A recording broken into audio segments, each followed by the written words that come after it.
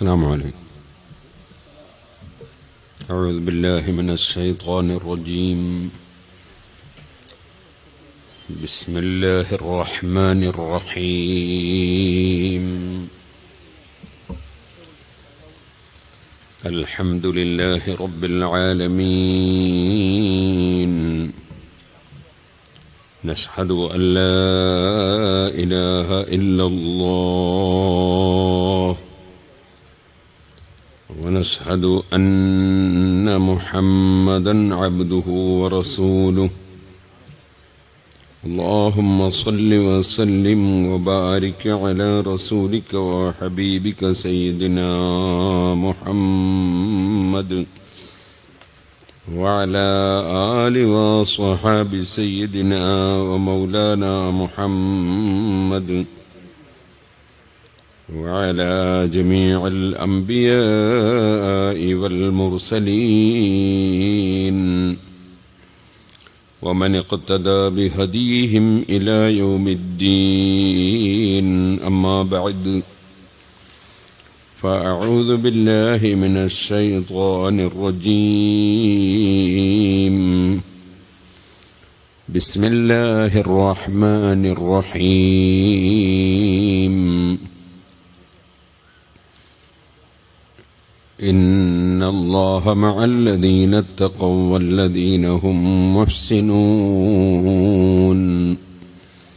صدق الله العلي العظيم.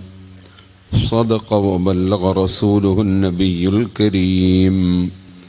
ونحن على ذلك من الشاهدين الشاكرين. والحمد لله رب العالمين. على النبي ذريعتي وهم إليه وسيلتي أرجو بهم عطاء غدا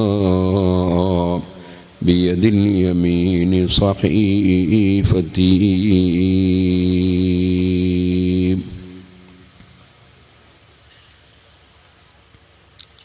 آدرني رأيه സാധാതുക്കൾ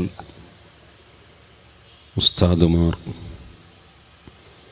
പ്രിയപ്പെട്ട മുഗ്മിനിയങ്ങൾ മുഗ്മിനാത്തുകൾ സുഹൃത്തുക്കൾ. അള്ളാഹുവിന്റെ മഹത്തായ അനുഗ്രഹം കൊണ്ട്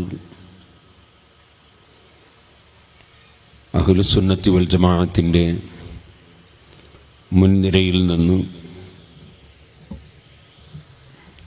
അഷ്റഫുൽ ഖൽഖ് സല്ലല്ലാഹു അലൈഹി വസല്ലമ തങ്ങളോടും അവിടുന്ന് പഠിപ്പിച്ച ദീനിനോടുമുള്ള കടപ്പാട് നിർവഹിക്കുക എന്ന നിലയ്ക്ക് നമുക്ക് നേതൃത്വം നൽകിയ ബഹുവന്യരായ യൂസുഫുൽ ജീലാനി തങ്ങളവറുകളുടെ അനുസ്മരണ പരിപാടിയോടനുബന്ധിച്ചുള്ള പ്രഭാഷണ വേദിയിലാണ് നാം ഒരുമിച്ച് കൂടിയിട്ടുള്ളത്. അള്ളാഹു നമ്മുടെ ഈ മജ്ലിസ് ആഹൃത്തിൽ ഉപകരിക്കുന്ന മജ്ലിസായി നമ്മിൽ നിന്ന് കബൂൾ ചെയ്യുമാറാകട്ടെ. ബഹുമാനപ്പെട്ട തങ്ങളവറുകൾക്കും നമ്മിൽ നിന്ന് വിട്ടുപിരിഞ്ഞു പോയ എല്ലാ സാധാത്തുക്കൾക്കും ആലിമീങ്ങൾക്കും പ്രവർത്തകർക്കും സഹായികൾക്കും സഹകാരികൾക്കും നമുക്കും അള്ളാഹു സ്വർഗത്തിൽ ഒരുമിച്ച് കൂടാനുള്ള ഭാഗ്യം നൽകുമാറാകട്ടെ. തങ്ങളവറുകളുടെ സന്താനങ്ങൾക്കും കുടുംബങ്ങൾക്കും നാട്ടുകാർക്കും വീട്ടുകാർക്കുമെല്ലാം എല്ലാ ഹൈറിന്റെ വാതിലുകളും അള്ളാഹു തുറന്നു തരുമാറാകട്ടെ. ധാരാളം പ്രസംഗങ്ങളും വേളുകളും നിങ്ങൾ കേട്ടിട്ടുണ്ടാകുമെന്ന് ഞാൻ മനസ്സിലാക്കും ബ്രിട്ടീഷുകാരുടെ കാലത്ത് ഉണ്ടാക്കിയ റോഡും അതിന്റെ ശേഷമുണ്ടായ ആയിരക്കണക്കിന് വാഹനങ്ങളും അല്ലെങ്കിൽ ലക്ഷക്കണക്കിന് വാഹനങ്ങൾ ഒരു റോട്ടിലൂടെയും യാത്ര ചെയ്യാൻ ഇപ്പോൾ കഴിയാത്ത അവസ്ഥയാണ്. കുറ്റിയാടിയിൽ നിന്ന് ഇറങ്ങിയപ്പോൾ കുറ്റിയാടിയിൽ തന്നെ ബ്ലോക്കാണ്. ഞാൻ കാറ് ഒഴിവാക്കി ട്രെയിനിൽ വരാൻ വേണ്ടി ഉദ്ദേശിച്ചു. പക്ഷേ ട്രെയിനിലും ഈ റെയിൽവേ സ്റ്റേഷൻ ഇങ്ങോട്ട് വലിച്ചു കൊണ്ടുവരാൻ കഴിയില്ലല്ലോ. അതിനും അവിടെ എത്തണ്ടേ അതിനും എത്താതെയായി. അതുകൊണ്ട് വളരെ വൈകിപ്പോയി. ഞാനാണെങ്കിൽ അതിരാവിലെ നീണ്ട ഒരു വിദേശയാത്രയും ആണ്. അതുകൊണ്ട് നീട്ടി സംസാരിക്കുന്നില്ല. മഹാനായ തങ്ങളവറുകളോടും സാധാത്തുക്കളോട് മൊത്തത്തിലും ഈ വയലത്തൂർ പ്രദേശങ്ങളിലുള്ള അഹ്ലുസുന്നത്തി വൽ ജമാഅത്തിന്റെ സഹായികൾ സഹകാരികൾ പ്രവർത്തകരോടുമുള്ള അങ്ങേയറ്റത്തെ സ്നേഹവും ഊറും ബാധ്യതയും ഓർമ്മിച്ചുകൊണ്ട് മാത്രം ഞാനിവിടെ വന്നതാണ്. അല്ലെങ്കിൽ ഇന്ന് വരാൻ വളരെയേറെ പ്രതിബന്ധങ്ങൾ ഉണ്ട്. അള്ളാഹു താല നമ്മുടെ അമലുകളെല്ലാം കബൂൽ ചെയ്യുമാറാകട്ടെ. ബഹുമാനപ്പെട്ട ആദം മഹീദ്ദീൻ അബ്ദുൽ ഖാദിർ ജീലാനി ഖദ്ദസല്ലാഹു സിറുൽ അസീസ്. അതുപോലെ താജുലമ സയ്യിദ് അബ്ദുറഹ്മാൻ അൽ ബുഖാരി നൂറുലമ എം എ ഉസ്താദ് അങ്ങനെ തുടങ്ങിയിട്ട് ധാരാളം സയ്യിദന്മാരും ആലിമീങ്ങളും മുമ്മിനീങ്ങളും നമ്മെ വിട്ടുപിരിഞ്ഞ ഒരു സന്ദർഭമാണ് ഈ മഹത്തായ മാസം. അവരോടെല്ലാം കടപ്പെട്ടവരാണ് നാം. നമ്മെ വിട്ടുപിരിഞ്ഞു പോയ എല്ലാ മഹാന്മാരോടും കടപ്പെട്ടവരാണ് നാം. അവരുടെ പ്രവർത്തനങ്ങളും അവരുടെ സേവനങ്ങളുമാണ് നമുക്ക് ഈമാനും തക്കവയും ഉണ്ടാകാൻ നിമിത്തമായിട്ടുള്ളത്. ആ കടപ്പാട് നിർവഹിക്കുന്ന നമ്മൾ അവരെ അനുസ്മരിക്കുന്നു. അവരുടെ പേരിൽ ഖുർആൻ ഓതുന്നു. അവരുടെ കബറുകൾ സിയാറത്ത് ചെയ്യുന്നു. അവരെ അനുസ്മരിച്ചുകൊണ്ട് അവർ പഠിപ്പിച്ച ദീനിന്റെ ആശയങ്ങൾ പ്രചരിപ്പിക്കുന്നു. ഇതെല്ലാം അവരോടുള്ള കടപ്പാട് വീട്ടാനുള്ള മാർഗങ്ങളാണ്. മരിച്ചവരെ മറന്നുകളയുക എന്നത് ഒരു മോമിനായ മനുഷ്യന്റെ സ്വഭാവമല്ല. ഉദ്കുറു ബഹാസിന് മൗത്താക്കും നിങ്ങൾ മരിച്ചവരുടെ നന്മകൾ ഗുണങ്ങൾ പറയണം എന്നാണ് നബി സല്ലാഹു അലഹി വസ്ലമുകൾ കൽപ്പിച്ചിട്ടുള്ളത്. നമ്മളും സ്വാലിഹീങ്ങളെ പിന്തുടർന്ന് ജീവിക്കണം. അപ്പോഴാണ് നമുക്ക് അവരുടെ കൂടെ ഒരുമിച്ച് കൂടാനുള്ള മാർഗം ലഭ്യമാകുന്നത്. മഹാനായ ഗൗസുൽ ആദം മഹീദ്ദീൻ അബ്ദുൽ ഖാദിർ ജീലാനി ഖദ്ദസല്ലാഹു അസീസ്. മഹാനവറുകളുടെ വളരെ പ്രധാനപ്പെട്ട ഗ്രന്ഥമാണ് അൽ ഫതഹുർ റബ്ബാനി. ഈ മഹത്തായ ഗ്രന്ഥത്തിൽ മഹാനവറുകൾ പ്രത്യേകമായി പറഞ്ഞു പഴയ കാലത്തുള്ള ആളുകളുടെ സ്വഭാവം സജ്ജനങ്ങളായ ആളുകളെ സന്ദർശിക്കലാണ്. അവരിൽ നിന്ന് കിട്ടുന്ന അറിവുകൾ നേടിയെടുക്കലാണ്. അവരുമായി ബന്ധപ്പെട്ട് അവരുടെ ഉപദേശം സ്വീകരിച്ച് ജീവിക്കലാണ്. അതാണ് ഒരു മനുഷ്യന് വിജയം കൈവരിക്കാനുള്ള വലിയ ഒരു മാർഗം. അങ്ങനെ വിശദീകരിച്ച് ഒരുപാട് പറഞ്ഞുകൊണ്ട് അവിടുന്ന് പറയുകയുണ്ടായി മുഗ്മിനായ മനുഷ്യന് ധാരാളം ലക്ഷണങ്ങളുണ്ട്. അവന്റെ സ്വഭാവം എന്താണ്?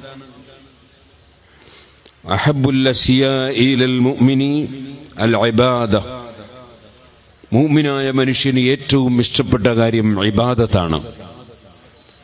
കാരണം മനുഷ്യനെ അള്ളാഹുത്താല സൃഷ്ടിച്ചത് അള്ളാഹുവിനെ ആരാധിക്കാൻ വേണ്ടിയാണ്. അശിയാഇ ഇലൈഹി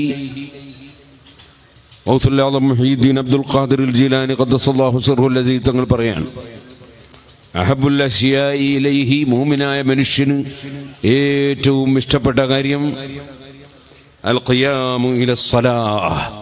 നിസ്കരിക്കാൻ നിൽക്കലാണ്. ഒരു മൂമിനായ മനുഷ്യന് ഏറ്റവും ആവേശമുള്ള കാര്യം ഏറ്റവും ഇഷ്ടപ്പെട്ട കാര്യം നിസ്കരിക്കാൻ നിൽക്കലാണ്. അൽ ഖിയാമു ഇല സ്വലാഹ്. وهو قاعد في بيته فقلبه ينتظر المؤذن വീട്ടിലിരിക്കുമ്പോൾ അവന്റെ മനസ്സ് പള്ളിയിൽ നിന്ന് ബാങ്ക് വിളിക്കുന്ന ആളുടെ ബാങ്ക് ഇങ്ങനെ കാത്തിരിക്കുന്ന മനസ്സാണ് മൂമിനായ മനുഷ്യൻ അങ്ങനെയാണ് അവന് ബാങ്ക് കേൾക്കാൻ വലിയ താല്പര്യമാണ് അവൻ ആ ബാങ്കും കാത്ത് അവന്റെ വീട്ടിൽ ഇങ്ങനെ ഇരിക്കുകയാണ്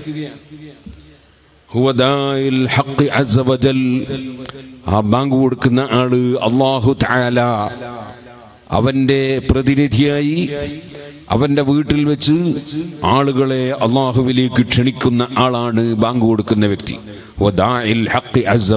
അള്ളാഹുവിന്റെ ക്ഷണക്കാരനാണ് ബാങ്ക് കൊടുക്കുന്ന ആൾ ചിലർക്കൊരു ധാരണ ഉണ്ട് ബാങ്ക് കൊടുക്കുന്ന ആൾ എന്തോറും താഴ്ന്ന ഒരാളാണ് എന്നൊരു ധാരണ ഉണ്ട്. ആ ധാരണ പണ്ടങ്ങാനും തിരുത്തപ്പെടേണ്ടതാണ്. ബാങ്ക് കൊടുക്കുന്ന ആൾക്ക് വലിയ ബഹുമാനമാണ്. ബാങ്ക് കൊടുക്കുന്നവനെ നോക്കൽ സുന്നത്താണ്. എപ്പോഴും അല്ല ബാങ്ക് കൊടുക്കുന്ന സമയത്ത്. ബാങ്ക് ശ്രദ്ധിച്ച് കേൾക്കൽ സുന്നത്താണ്. ബാങ്കിന് ഉത്തരം ചെയ്യൽ സുന്നത്താണ്. ബാങ്ക് കൊടുക്കുമ്പോൾ അച്ചടക്കത്തോടെ ശ്രദ്ധിച്ച് കേട്ട് അതിന് ഉത്തരം ചെയ്യൽ സുന്നത്താണ്.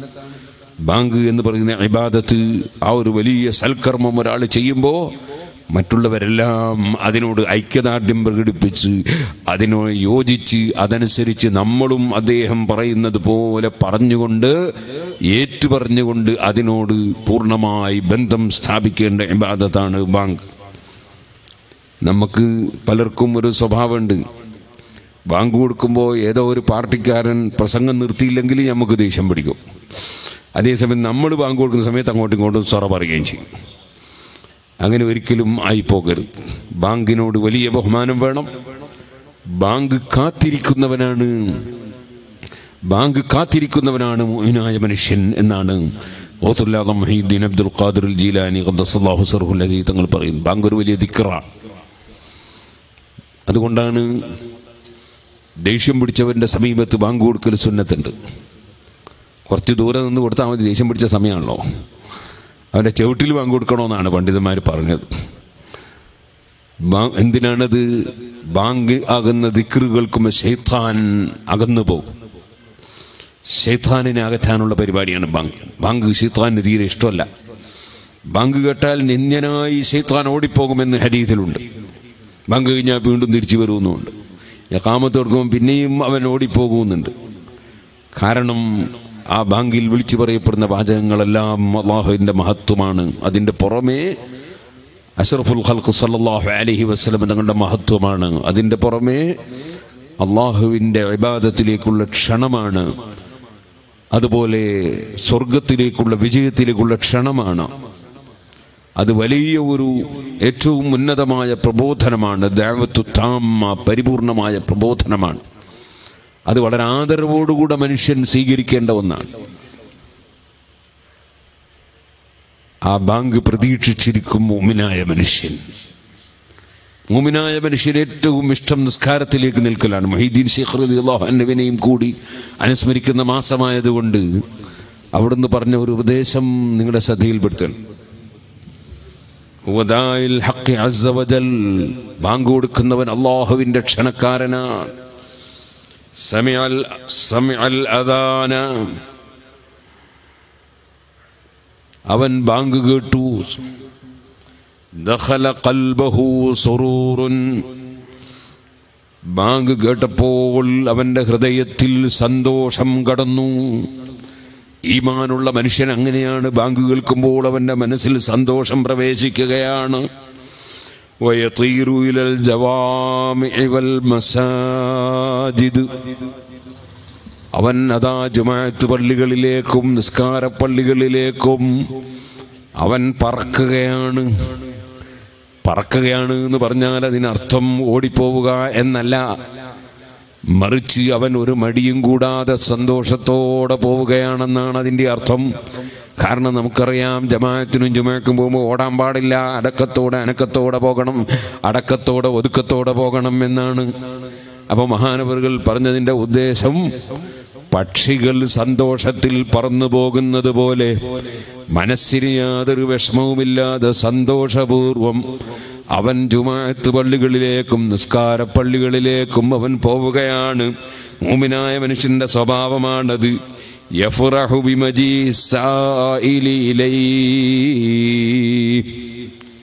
മൂമിനായ മനുഷ്യന് പിന്നെ സന്തോഷമുണ്ടാക്കുന്ന ഒരു കാര്യമുണ്ട്. അതെന്താണ്? അവന്റെ അടുക്കൽ ആരെങ്കിലും ഒരാൾ പിരിവിന് വരലാണ്. ആരെങ്കിലും ഒരാൾ പിരിവിന് വന്നാൽ മൂമിനായ മനുഷ്യൻ സന്തോഷിക്കും.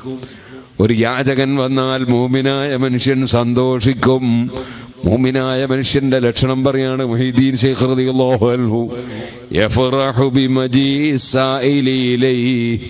ചോദിക്കുന്നവൻ യാചിക്കുന്നവൻ പിരിവെടുക്കുന്നവൻ വന്നാൽ ആ വന്ന കാരണം കൊണ്ട് മൂമിനായ മനുഷ്യൻ സന്തോഷിക്കും. കൊടുക്കലോ ഇതാക്കാൻ അവന്റെ കയ്യിൽ വല്ലതും ഉണ്ടെങ്കിൽ അവൻ കൊടുക്കും ഇല്ലെങ്കിൽ നല്ല വർത്തമാനം പറയും.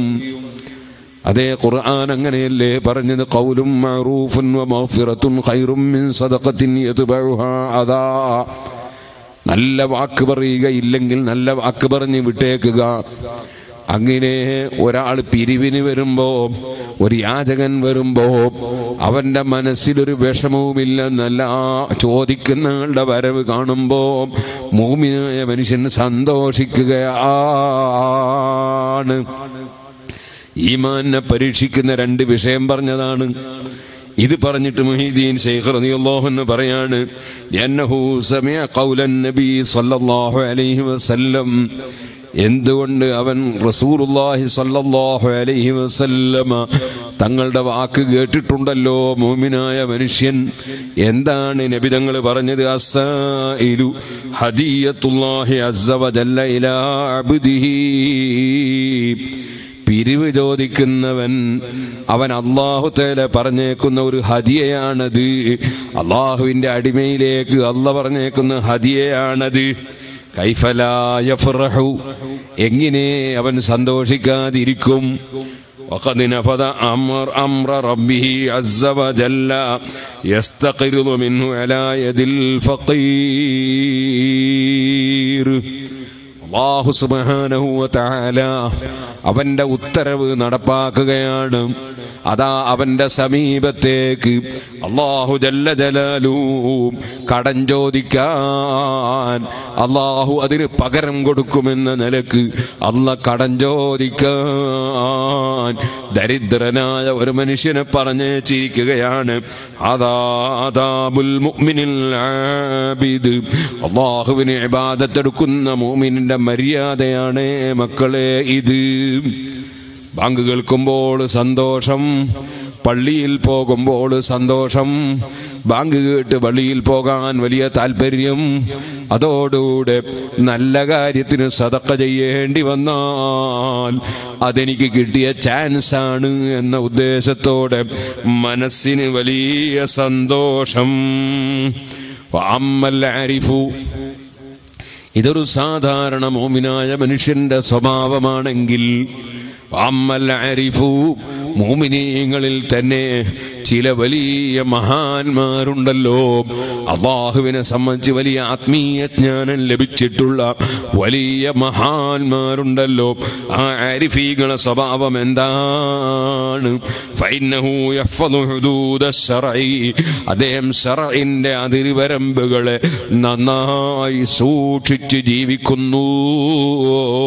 അള്ളാഹുവിന്റെ അരിഫീങ്ങളിൽ നിന്ന് ഒരു കറാഹത്ത് പോലും സംഭവിക്കൂല പലരും തെറ്റിദ്ധരിച്ചത് ആരിഫീങ്ങളായാൽ ഔലിയാക്കളായാൽ അവർ നിസ്കരിക്കൂല അല്ലെങ്കിൽ നോമ്പെടുക്കൂല അല്ലെങ്കിൽ എല്ലാ ഹറാമും കറാത്തൊക്കെ ചെയ്യുന്നു ഔലിയാക്കൾ എന്നാണ് ചിലർ തെറ്റിദ്ധരിച്ചത്. അങ്ങനെയല്ല. വൈദീൻ ശിഖ്റദിള്ളാഹുന് പറയാണ് അള്ളാഹുവിന്റെ നിയമങ്ങൾ അതിരുവരമ്പുകൾ പൂർണമായി സൂക്ഷിച്ച് ജീവിക്കും ആരിഫീങ്ങൾ. അതുകൊണ്ടാണ് ഇമാം വസാലി ഹിയാഉലുദ്ദീനിൽ ഒരു സ്ഥലത്ത് പറഞ്ഞു അൽ കറാഹത്തു കബീറ. കറാഹത്തുകൾ വലിയ വലിയ മഹാന്മാരായ ആരിഫീങ്ങളുടെ അടുക്കൽ കബീറത്തുൻ വൻകുറ്റമാണ്. നമ്മൾ കറാഹത്ത് കർമ്മശാസ്ത്ര നിയമത്തിൽ പറയുന്ന കാര്യങ്ങൾ ഔലിയാക്കളുടെ വലിയ മഹാന്മാരെ അത് വലിയ വൻകുറ്റമായിട്ടാണ് അവർ കാണുക. അവർക്ക് വിരോധിക്കപ്പെട്ട ഒരു വിഷയത്തെയും അവർ ചെറുതായി കാണൂല. എല്ലാ വിരോധങ്ങളെയും വളരെ ശ്രദ്ധിക്കും. അതുകൊണ്ടാണല്ലോ നിങ്ങൾ കേട്ടിട്ടില്ലേ? ഔലിയാക്കളിൽ വലിയ പ്രമുഖനായ ഇമാം അബൂ ഹനീഫത്തുൽ കൂഫി റളിയല്ലാഹു അൻഹു. അബൂ ഹനീഫ അൻഹുവിന് നന്നായി നിയമങ്ങൾ അറിയാം നിയമങ്ങൾ മഹാനവറുകൾ നന്നായി വിവരിച്ചിട്ടുണ്ട്. പക്ഷേ ഒരിക്കൽ മഹാനവറുകളുടെ ഒരു തുണിയിൽ ഒരൽപ്പം ചളി തെറിച്ചുപോയി. ചളിയിൽ ചെറിയ നെജസുണ്ടോ എന്ന് സംശയമുണ്ട്. അത് വല്ലാതെ ശ്രദ്ധിച്ച് കഴുകണം. ഒരാൾ ചോദിച്ചു അല്ല ഓ ഇമാം അബു ഹനീഫ നിങ്ങളല്ലേ ഫതു കൊടുത്തത്? ഒരു ദിർഹമിന്റെ അത്രയും നജസുണ്ടെങ്കിൽ അത് പൊറുക്കപ്പെടും. അതിന് കുഴപ്പമൊന്നുമില്ല എന്ന് പത്ത് കൊടുത്ത ആളല്ലേ നിങ്ങൾ? പിന്നെ നിങ്ങൾ അതിനെ ഇത്ര അധ്വാനി അധ്വാനിച്ച് ഈ ചെറിയ നജസ് ഉണ്ടോ സംശയമുള്ള ഇങ്ങനെ കഴുകാൻ നിൽക്കുന്നതെന്ന് ചോദിച്ചു. അപ്പൊ പറഞ്ഞു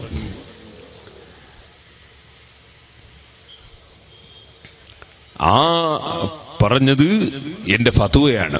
എന്നോട് മസാല ചോദിച്ചാൽ ഞാൻ അങ്ങനെയാ പറയാ.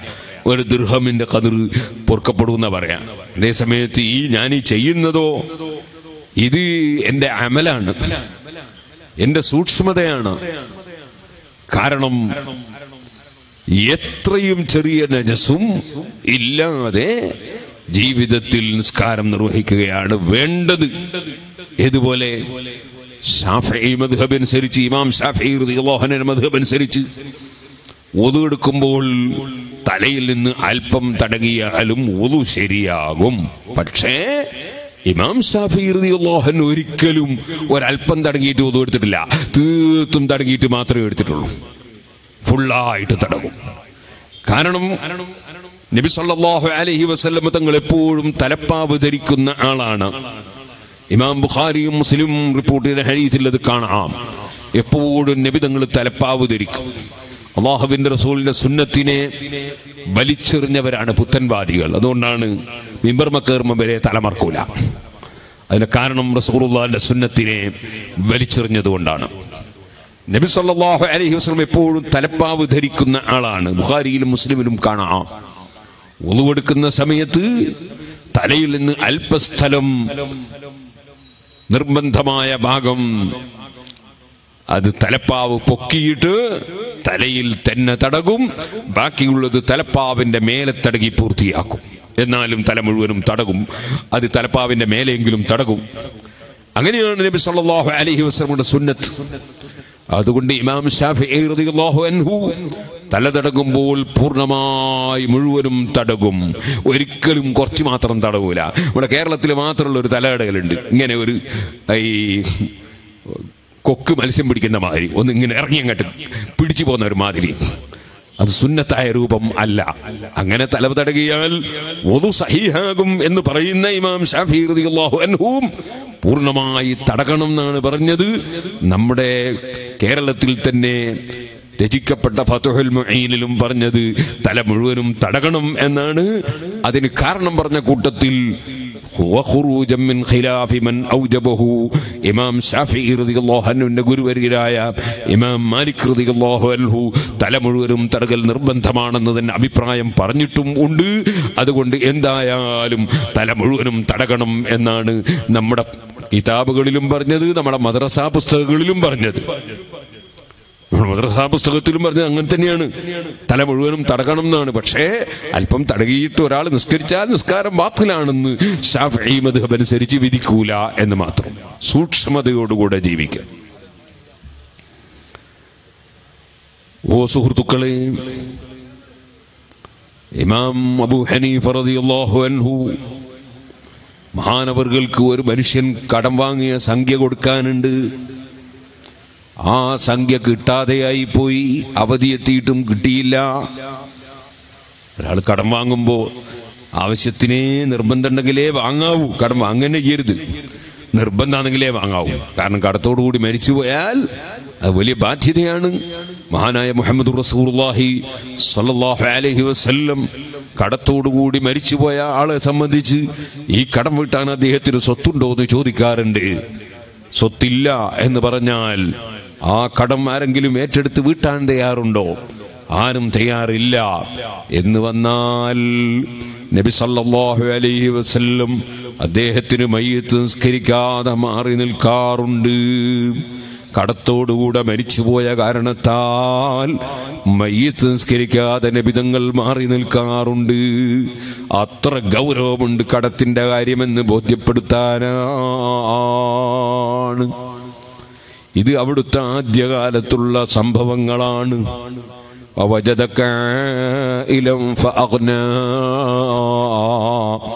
ആദ്യത്തിൽ നബി സല്ലല്ലാഹു അലൈഹി വസല്ലമക്ക് സാമ്പത്തിക പ്രയാസമായിരുന്നു. അവസാന കാലത്ത് അള്ളാഹു സുബ്ഹാനഹു വതആല ഐശ്വര്യം കൊടുത്തിട്ടുണ്ട്. ഐശ്വര്യം വന്നപ്പോൾ അവിടുത്തെ ഉമ്മത്തിനോടുള്ള അങ്ങേയറ്റത്തെ കാരുണ്യം കൊണ്ട് അതാ അവിടുത്തെ സഹാബത്തിൽ നിന്ന് ആരെങ്കിലും കടത്തോടുകൂടെ മരിച്ചു പോയാൽ വീട്ടാനുള്ള കഴിവില്ലെങ്കിൽ നബി സല്ലല്ലാഹു അലൈഹി വസല്ലം സ്വന്തമായി ആ കടം ഏറ്റെടുക്കുകയും എന്നിട്ട് അദ്ദേഹത്തിന്റെ കടം വീട്ടി അദ്ദേഹത്തിന് വേണ്ടി മയ്യത്ത് നിസ്കരിക്കുകയും ചെയ്യാറുണ്ട്. അതും നമുക്ക് ഹദീസിൽ കാണാം. ഞാൻ എന്റെ സഹോദരി സഹോദരന്മാരോട് ഇടക്കൊന്ന് സൂചിപ്പിക്കുകയാണ്. നമുക്ക് കടം ഇല്ലാത്ത നിലയ്ക്ക് മരിക്കാൻ സാധിക്കണം. അള്ളാഹു അതിന് തൗഫീഖ് നൽകട്ടെ. മറ്റൊരാൾക്ക് കടപ്പെട്ടുകൊണ്ട് മരിക്കുന്നൊരു സ്വഭാവം ഉണ്ടാകരുത് അതേ സമയത്ത് കടം വീട്ടാനുള്ള സ്വത്ത് നമുക്കുണ്ടെങ്കിൽ അല്ലെങ്കിൽ പണയമുണ്ടെങ്കിൽ അതാ ഭയപ്പെടേണ്ടതില്ലല്ലോ. ആ പണയ വസ്തു വിറ്റുകൊണ്ട് കടം വീട്ടാമല്ലോ. നബി സല്ലല്ലാഹു അലൈഹി വസല്ലം നിങ്ങൾ വഫാത്താകുന്ന സമയത്ത് ബിദിർ വദിറുഹു മർഹൂനുൻ ഇൻദ യഹൂദിയൻ അവിടുത്തെ പടയങ്കി ഒരു യഹൂദിയുടെ അടുക്കൽ പണയത്തിലായിരുന്നു എന്ന് ഹദീസിലുണ്ടല്ലോ. അതിന്റെ അർത്ഥം നബിതങ്ങൾക്ക് കടം ഇല്ലെന്നാണല്ലോ. കാരണം പണയത്തിൽ പടയങ്കി ഉണ്ട് എന്ന് പറഞ്ഞാൽ ആ സംഖ്യ വീട്ടാനുള്ള സംഖ്യ ഏതായാലും പടയങ്കി വിറ്റാൽ കിട്ടുമല്ലോ. അപ്പോൾ പിന്നെ കടത്തോടുകൂടി മരിച്ചു എന്ന് എടുത്ത് കുടുങ്ങിപ്പോവും. അയാൾക്ക് സ്വക്കന്റെ കൂലിയിട്ടതല്ലേ വേറൊരു കാര്യമാണ്.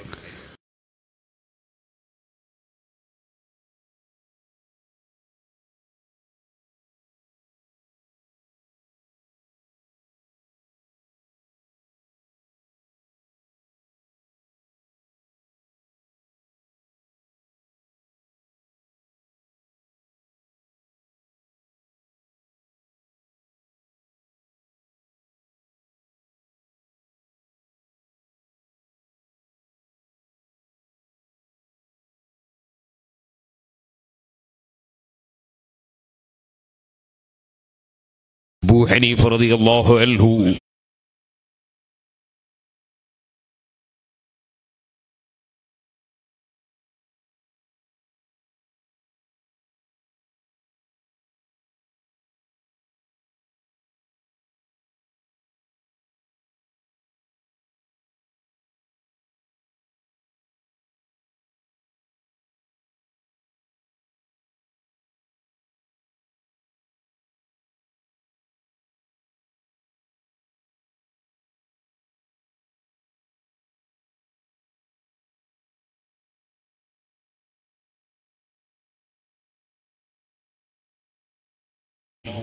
ആ ഗേറ്റിന്റെ അടുക്കൽ ഇങ്ങനെ നിന്നു.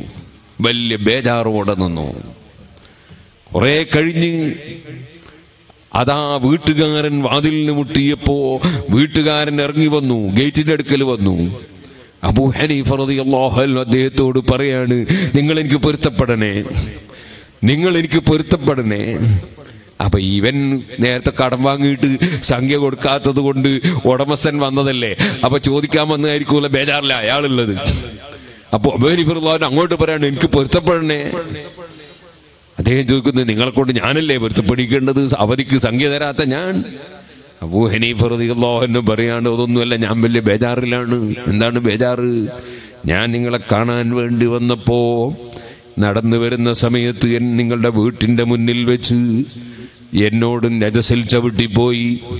ആ ചവിട്ടിപ്പോയ സമയത്ത് ഞാൻ അറിയാതെ കാലൊന്ന് കുടഞ്ഞുപോയി. കുടയുന്ന സമയത്ത് നിങ്ങളുടെ ചുമരിന്റെ മേലെ നിങ്ങളുടെ മതിലിന്റെ ചുമരി മതിലിന്റെ മേലെ ഞാൻ ആ ചെരിപ്പ് കുടഞ്ഞപ്പോൾ രജസ് തെറിച്ചു. ഞാനത് ചുരണ്ടിയാൽ നിങ്ങളുടെ ചുമരിന്റെ മണ്ണ് അല്ലെങ്കിൽ അതാ അതിന്റെ പെയിന്റ് ഇളകിപ്പോകും. പോകും കഴുകിയാൽ അതിന്റെ വൃത്തി നഷ്ടപ്പെട്ടു പോകും. ഞാൻ ഇതെന്ത് ചെയ്യണമെന്നറിയാത്ത വലിയ ബേജാറിലാണ്. നിങ്ങൾ എനിക്ക് പൊരുത്തപ്പെടണേ.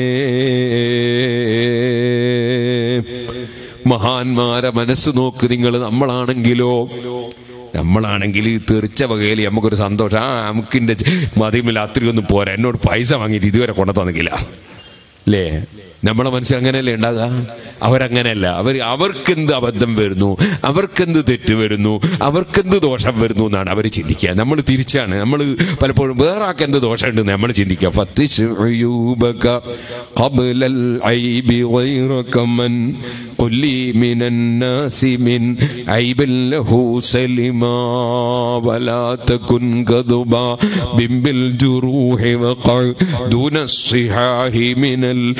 ഫത്തിശ് ഉയൂബക ഖബ്ലൽ ഐബി ഗൈറക മൻ قلي من الناس من عيب له سلما ولا تكن كذبا بن بالجروح وقع دون الصحاح من الأعضاء مستلما മഹാന്മാര് പറഞ്ഞു നീ ഈച്ചയെ പോലെ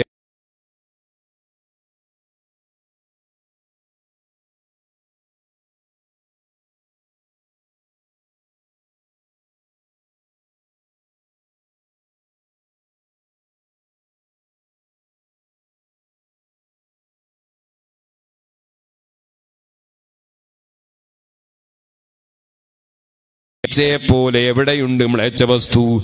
എവിടെയുണ്ട് നാറുന്ന സ്ഥലം? എവിടെയുണ്ട് നജസ്? ഇത് നോക്കിയിട്ട് അവിടെ പോയി വീഴാനല്ല ശ്രമിക്കേണ്ടത്.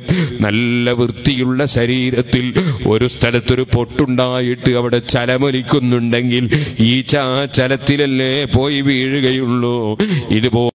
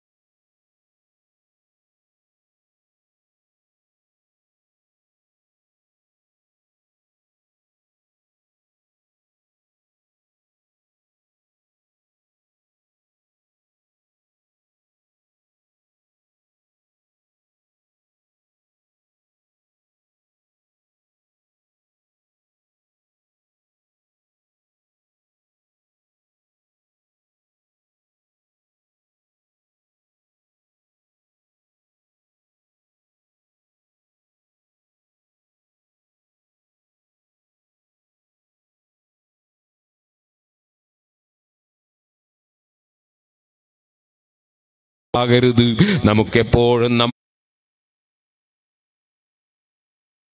നമ്മുടെ ദോഷത്തെക്കുറിച്ചാണ് ചിന്ത ഉണ്ടാകേണ്ടത്. ഈ ചിന്ത മനസ്സിൽ വരാത്തത് കൊണ്ടാണ് യുവാക്കളെ കാരണവന്മാരെ ഉമ്മമാരെ പലപ്പോഴും കുടുംബങ്ങൾ തമ്മിൽ തെറ്റുന്നത്. അതെങ്ങനെ? ഭർത്താവിന്റെ മനസ്സിൽ ഭാര്യയുടെ കുറ്റവും കുറവുമാണ് അവൻ ചിന്തിക്കുന്നത്. ഭർത്താവ് ചിന്തിക്കുന്നത് ഭാര്യയുടെ കുറ്റവും കുറവുമാണ്. ഇതുപോലെ ഭർത്താവിന്റെ ബാപ്പയും ഉമ്മയും ചിന്തിക്കുന്നത് ആ പുതിയ പെണ്ണിന്റെ വീട്ടിലേക്ക് വന്ന ആ ആ വധുവിന്റെ കുറ്റവും കുറവുമാണ്.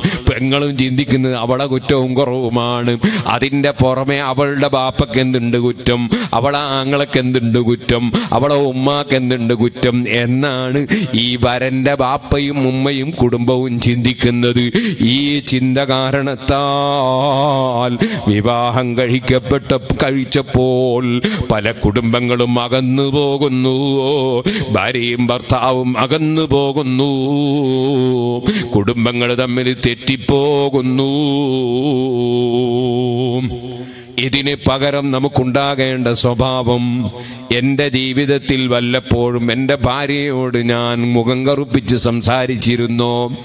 ഞാൻ വല്ലപ്പോഴും എന്റെ ഭാര്യയ്ക്ക് സന്തോഷമുണ്ടാക്കുന്നതിന് പകരം മനസ്സിന് വിഷമമുണ്ടാക്കുന്ന വാക്ക് പറഞ്ഞു പോയിരുന്നു? പെണ്ണ് ചിന്തിക്കേണ്ടത് എന്റെ ഭർത്താവിന്റെ പൊരുത്തം വാങ്ങി മരിക്കണം എന്നല്ലേ ഹബീബായ നബിതങ്ങൾ പഠിപ്പിച്ചത് മമ്മാത്തത്ത്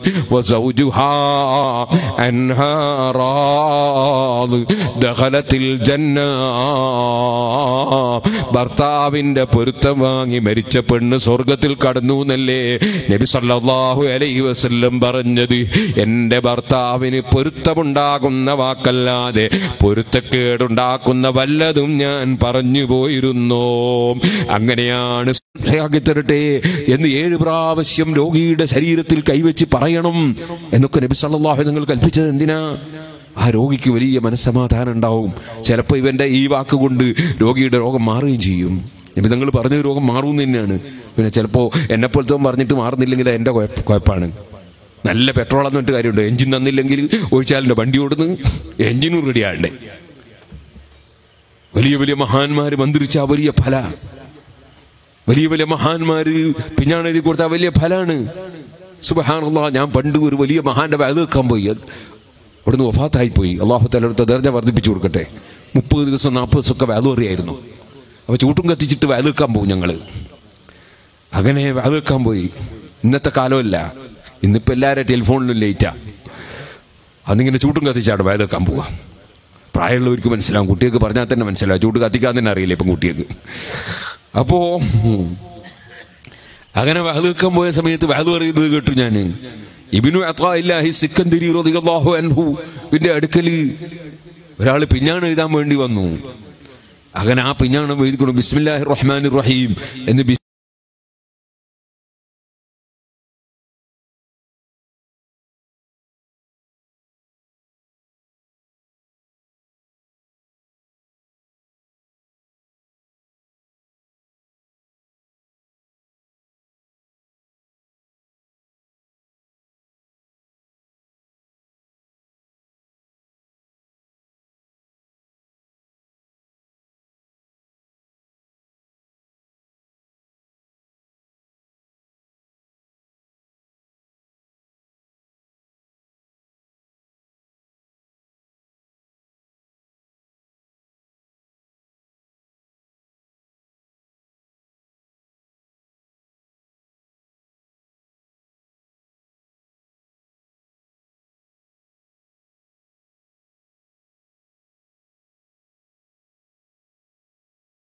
എന്ന സംഗതിയാണ്. അവന്റെ ശരീരത്തിൽ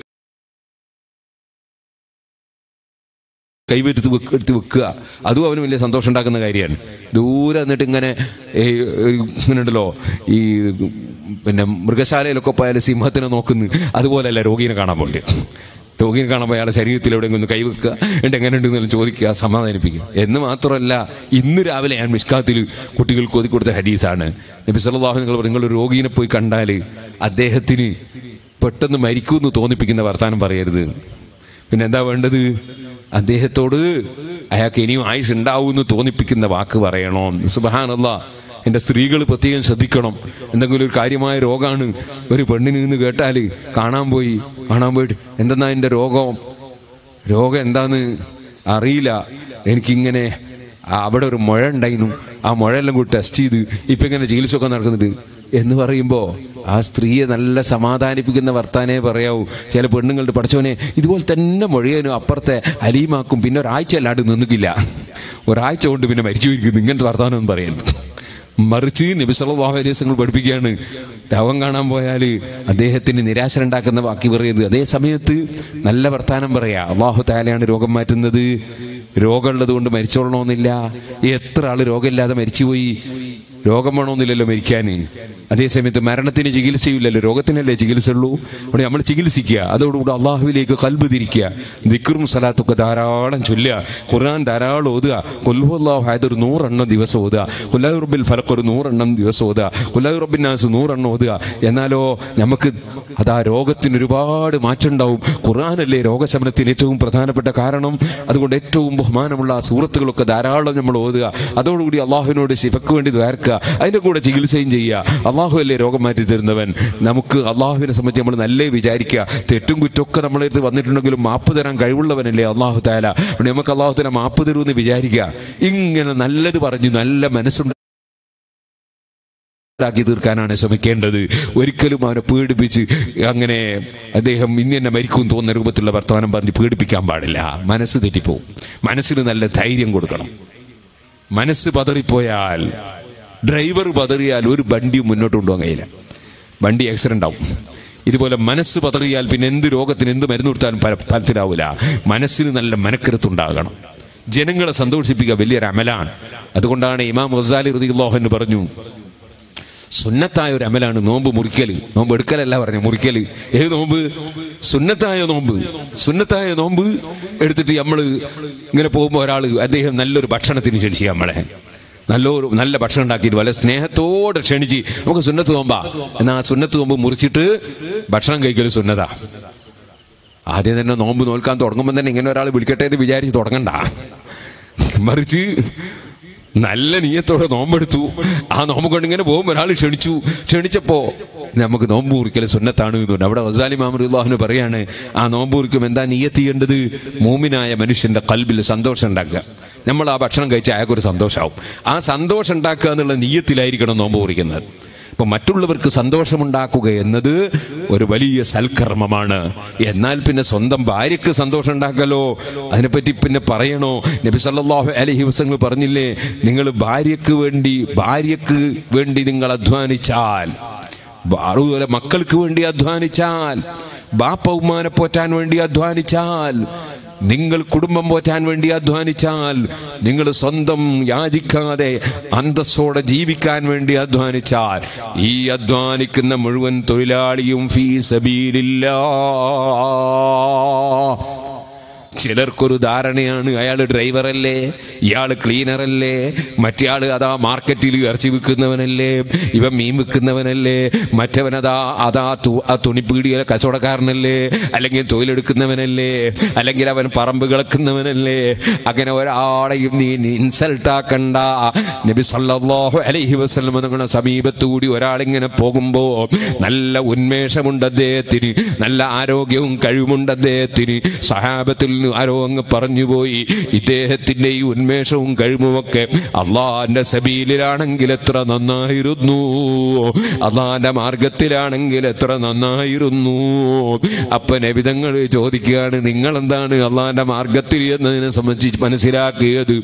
ഒരാൾ അദ്ദേഹത്തിന്റെ ബാപ്പ ഉമ്മക്ക് പ്രായമായിട്ട് അവരെ പോറ്റാൻ വേണ്ടി ജോലിയെടുക്കാൻ പോയാൽ.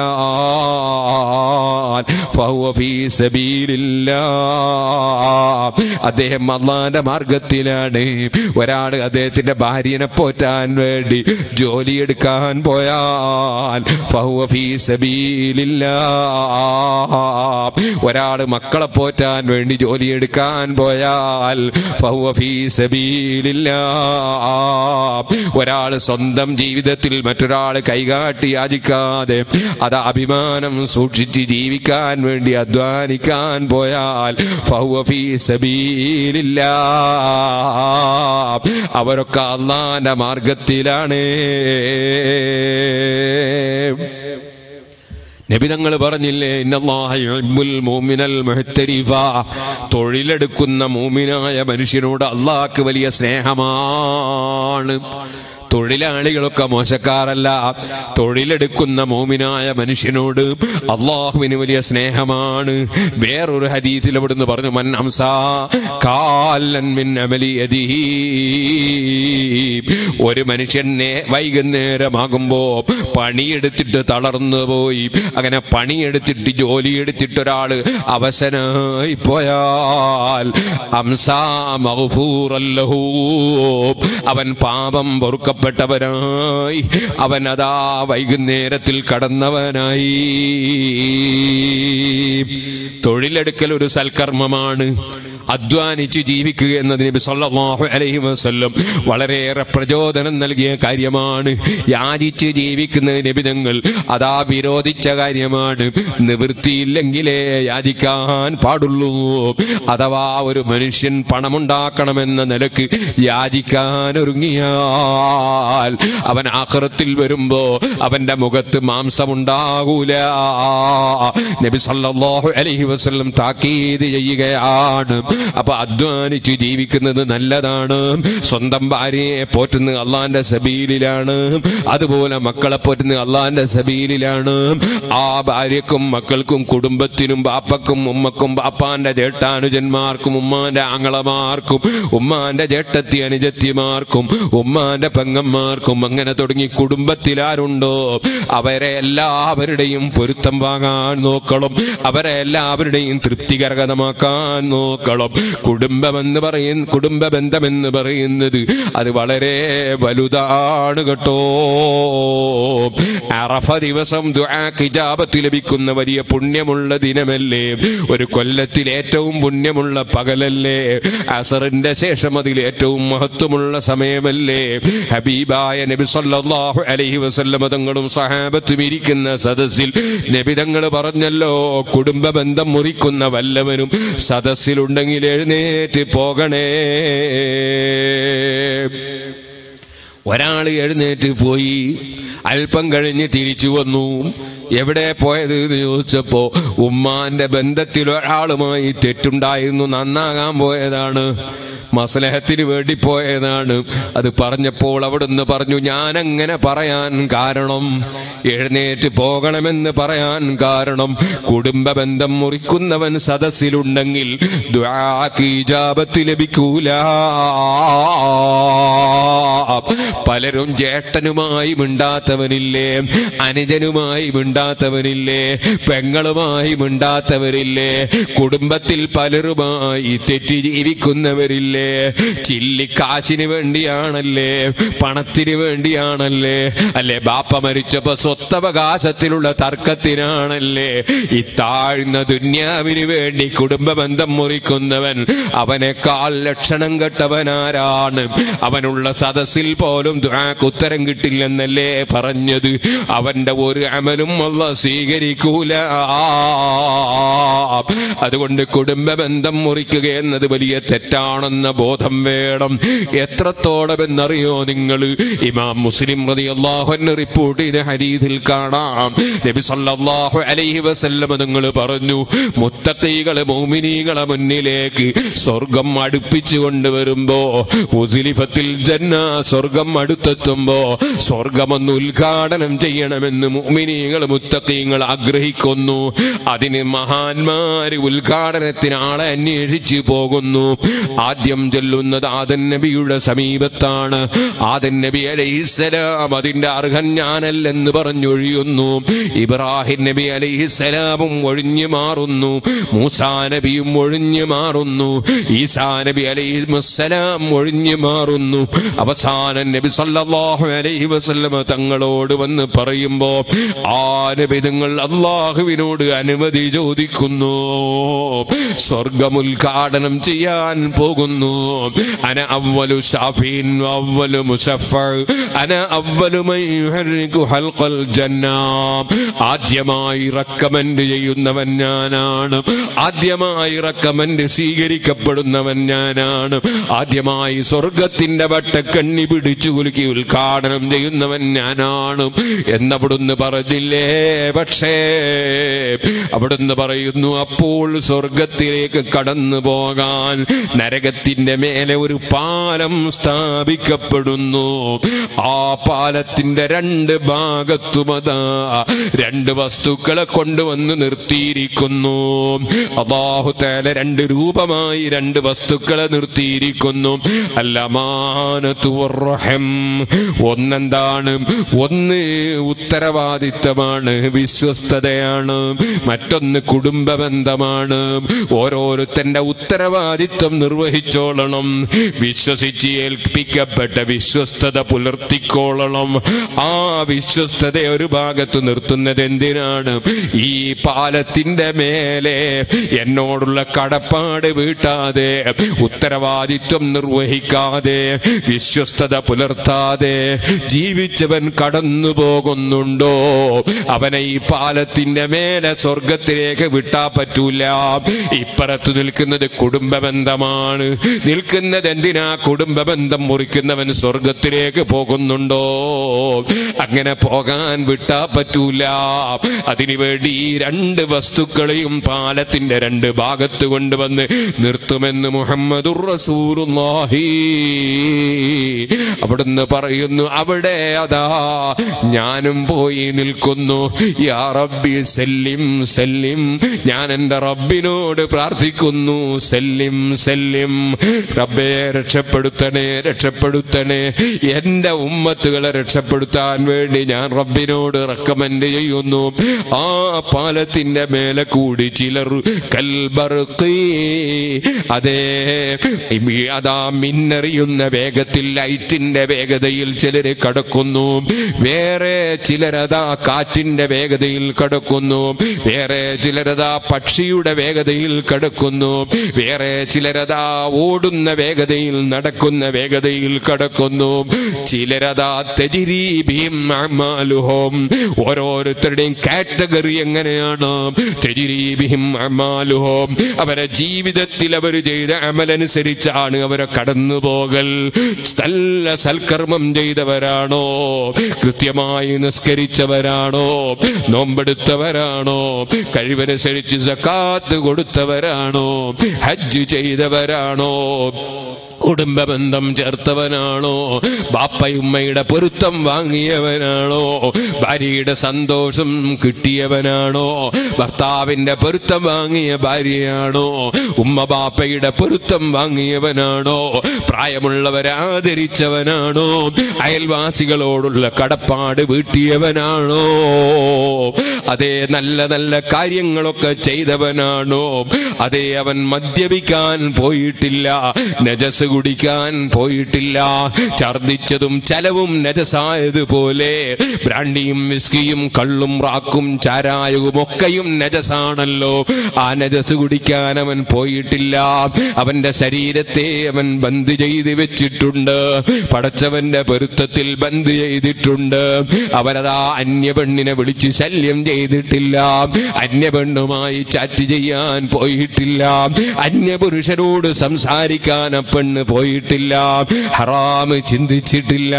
ഹറാമ് നോക്കിയിട്ടില്ല. ഹറാമിന് അതാ വഴിയൊരുക്കിയിട്ടില്ല. ജീവിക്കുന്ന കാലത്ത്.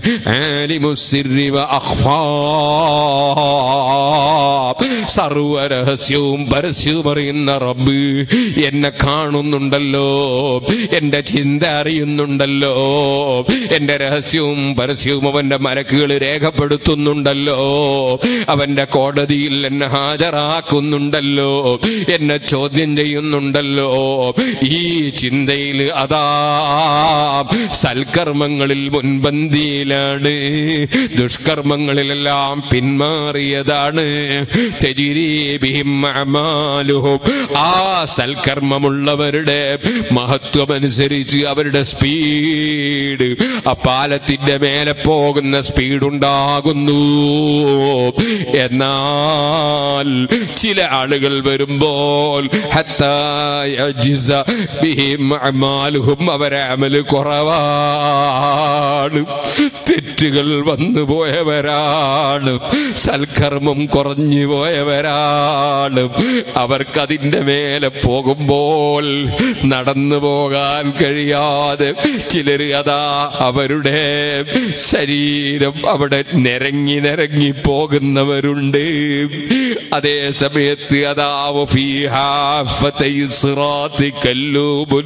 ആ പാലത്തിന്റെ രണ്ട് ഭാഗത്ത് ചില കൊക്കകളുണ്ട്. ആ കൊക്കകൾ പോകുന്ന മനുഷ്യൻ എന്തൊക്കെ തടീച്ചക്ക് വഴിപ്പെട്ട് എന്തൊക്കെ തെറ്റ് ചെയ്തിട്ടുണ്ടോ? ശൈത്താന് വഴിപ്പെട്ട് എന്തൊക്കെ കുറ്റങ്ങൾ അതാ ചെയ്തു വെച്ചിട്ടുണ്ടോ? ആ തെറ്റുകളെല്ലാം കൊക്കയുടെ രൂപത്തിലാക്കി റബ്ബ് സുബാനഹുവല അവൻ കടന്നു പോകുമ്പോ പാലത്തിന്റെ രണ്ട് സമീപത്ത് വെച്ചിരിക്കുന്നു. ആ കൊക്കകൾ അവനെ പിടിച്ചു കൊളുത്തുന്നു ഫിന്നാർ. ചിലര് പരിക്കുകളോടെ രക്ഷപ്പെട്ടു പോകുന്ന ചിലരുണ്ട്. ചിലരതാ കൊക്കകൾ പിടിച്ച് ജഹന്നമാകുന്ന നരകത്തിൽ തള്ളിയിടുന്നു. റബ്ബേ അടിയങ്ങളായ ഞങ്ങളെ ജഹന്നമിൽ നിന്ന് കാക്കണേ അല്ലാ. അവനവന്റെ സൽക്കർമ്മമനുസരിച്ച് ആ പാലത്തിന്റെ മേലെ കടന്നു പോകും. ആ പാലത്തിന്റെ ഒരു ഭാഗത്ത് കുടുംബബന്ധം വന്ന് വീക്ഷിക്കാൻ നിൽക്കും. കുടുംബബന്ധം ചേർത്തവനാണോ മുറിച്ചവനാണോ? വളരെ ഗൗരവമുള്ളതാണ് കുടുംബ ബന്ധം നല്ല ബോധം വേണം നമുക്ക് ദുന്യാവിന് വേണ്ടി. പരസ്പരം മിണ്ടാതിരിക്കരുത്. പരസ്പരം ശണ്ട കൂടരുത്. ബഹുമാനപ്പെട്ട അബ്ദുൽ ഖാദിർ തങ്ങൾ പറഞ്ഞിങ്ങനെ വിശദീകരിക്കുന്ന കൂട്ടത്തിൽ പറഞ്ഞു മക്കളെ ഈ കാലം ആഖിർ സമാനാണ്. ഖിയാമത്ത് നാളാണ്. പറയുന്നത് എപ്പോഴാണെന്നറിയോ നിങ്ങൾ? തൊള്ളായിരം കൊല്ലങ്ങൾക്ക് മുമ്പാ പറയുന്നത്. അന്ന് ആഹൃസമാനാണ് എന്ന് പറഞ്ഞാൽ നബി സല്ലല്ലാഹു അലൈഹി വസല്ലമ തങ്ങളുടെ വരവ് തന്നെ ആഖിർസമാനിന്റെ ലക്ഷണമാണ്.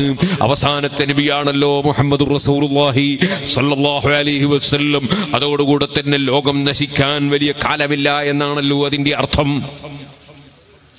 ഓ സുഹൃത്തുക്കൾ ആ നബി തങ്ങളുടെ ശേഷം അവിടുത്തെ ഹിജറ നാനൂറ്റി എഴുപതിലാണ് തങ്ങൾ ജനിക്കുന്നത്.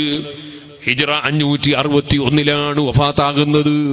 ആ കാലയളവിന് ഇടയിൽ മഹാനവറുകൾ രചിച്ച അൽ റബ്ബാനിയിൽ മഹാനവറുകൾ പറയാണ്. പറയുന്നത് എന്താണെന്നറിയോ? ഇത് അഹൃസമാനാണ് ഇത് ഖിയാമത്ത് നാളാണ്. ഓ മക്കളെ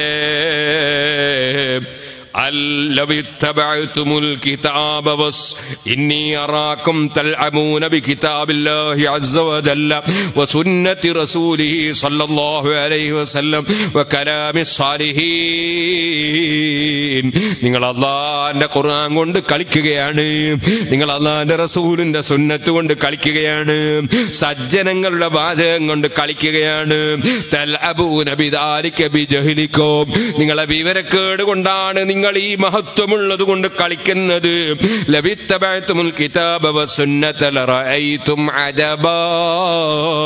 നിങ്ങൾ ഖുർആാനും സുന്നത്തും പിന്തുടർന്ന് ജീവിച്ചിരുന്നുവെങ്കിൽ നിങ്ങൾക്ക് അത്ഭുതം കാണാമായിരുന്നു.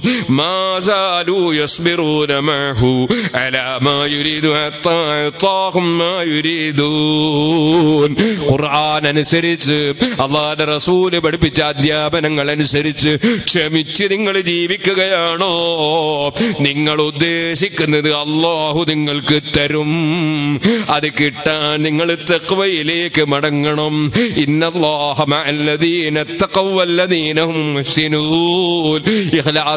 തെക്കുവ ചെയ്ത് ജീവിക്കുന്ന മഹാന്മാരെ കൂടെയാണ് അല്ലാഹ് ഇന്നല്ലാഹമസ്സാബിരീൻ ക്ഷമിക്കുന്നവരുടെ കൂടെയാണ് അല്ലാഹ് അള്ളാഹുവിന്റെ സഹായം ലഭിക്കണം. അള്ളാഹിന്റെ സഹായം ലഭിക്കണമെങ്കിൽ അള്ളാഹുവിനെ അനുസരിച്ച് ജീവിക്കണം. കേട്ടിട്ടില്ലേ? നിങ്ങൾ ഹജ്ജാജിബിന് യൂസഫ് എന്ന് പറയുന്ന ഭരണാധികാരി ധാരാളം ആലിമീങ്ങളെ കൊന്നുകളഞ്ഞു. ഒരുപാട് തോന്നിവാസം ചെയ്തു. അവന്റെ ഭരണത്തിൽ ഒരുപാട് അനീതികൾ നടപ്പിലാക്കി. അങ്ങനെ ആ ഭരണത്തിൻ കീഴിലുള്ളവരെ അടിച്ചമർത്താൻ ശ്രമിച്ചു.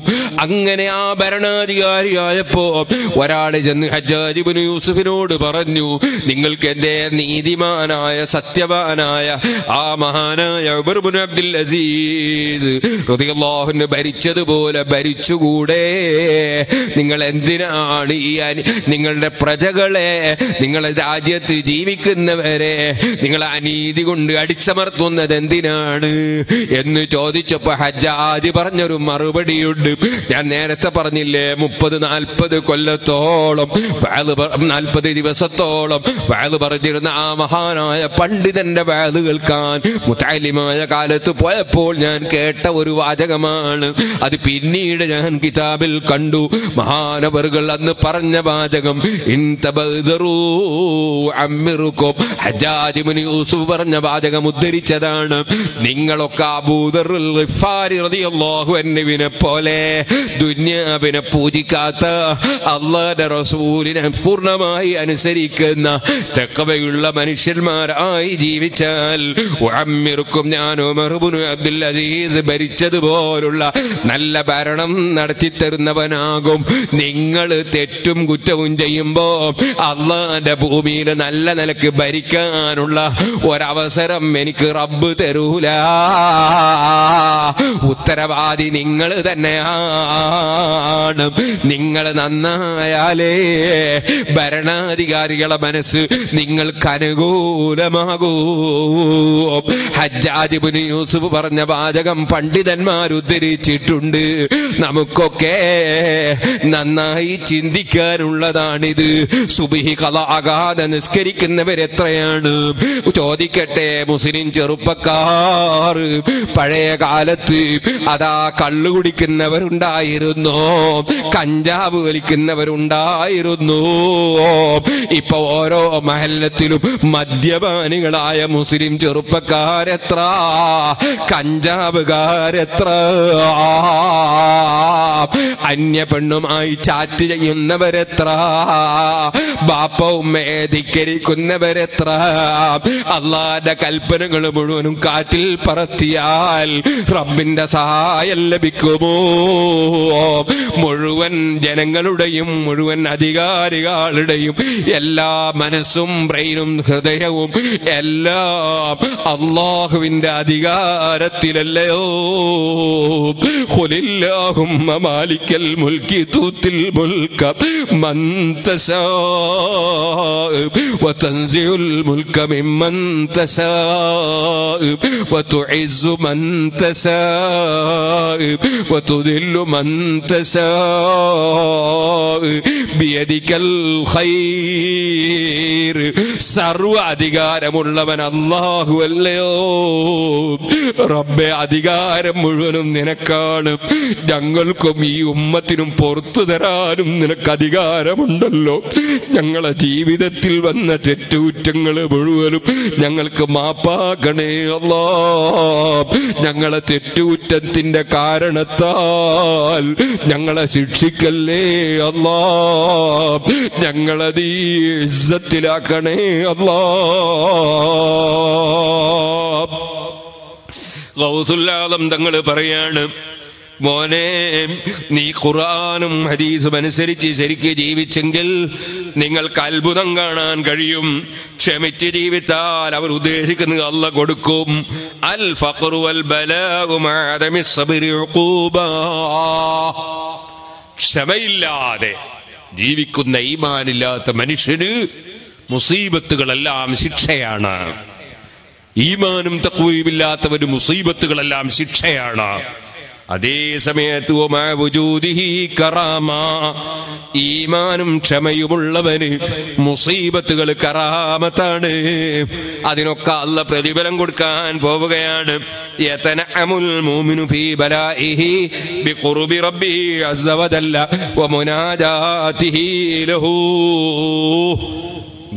ാണ് മോമിനായ മനുഷ്യന് മുസീബത്ത്. കാരണം മുസീബത്ത് ഉണ്ടാകുമ്പോൾ അള്ളാഹുമായി അടുക്കും. മുസീബത്തിന് ക്ഷമിക്കുമ്പോൾ അള്ളാഹുമായി അടുക്കും. ഇത് അവസാന കാലമാണ് മക്കളെ.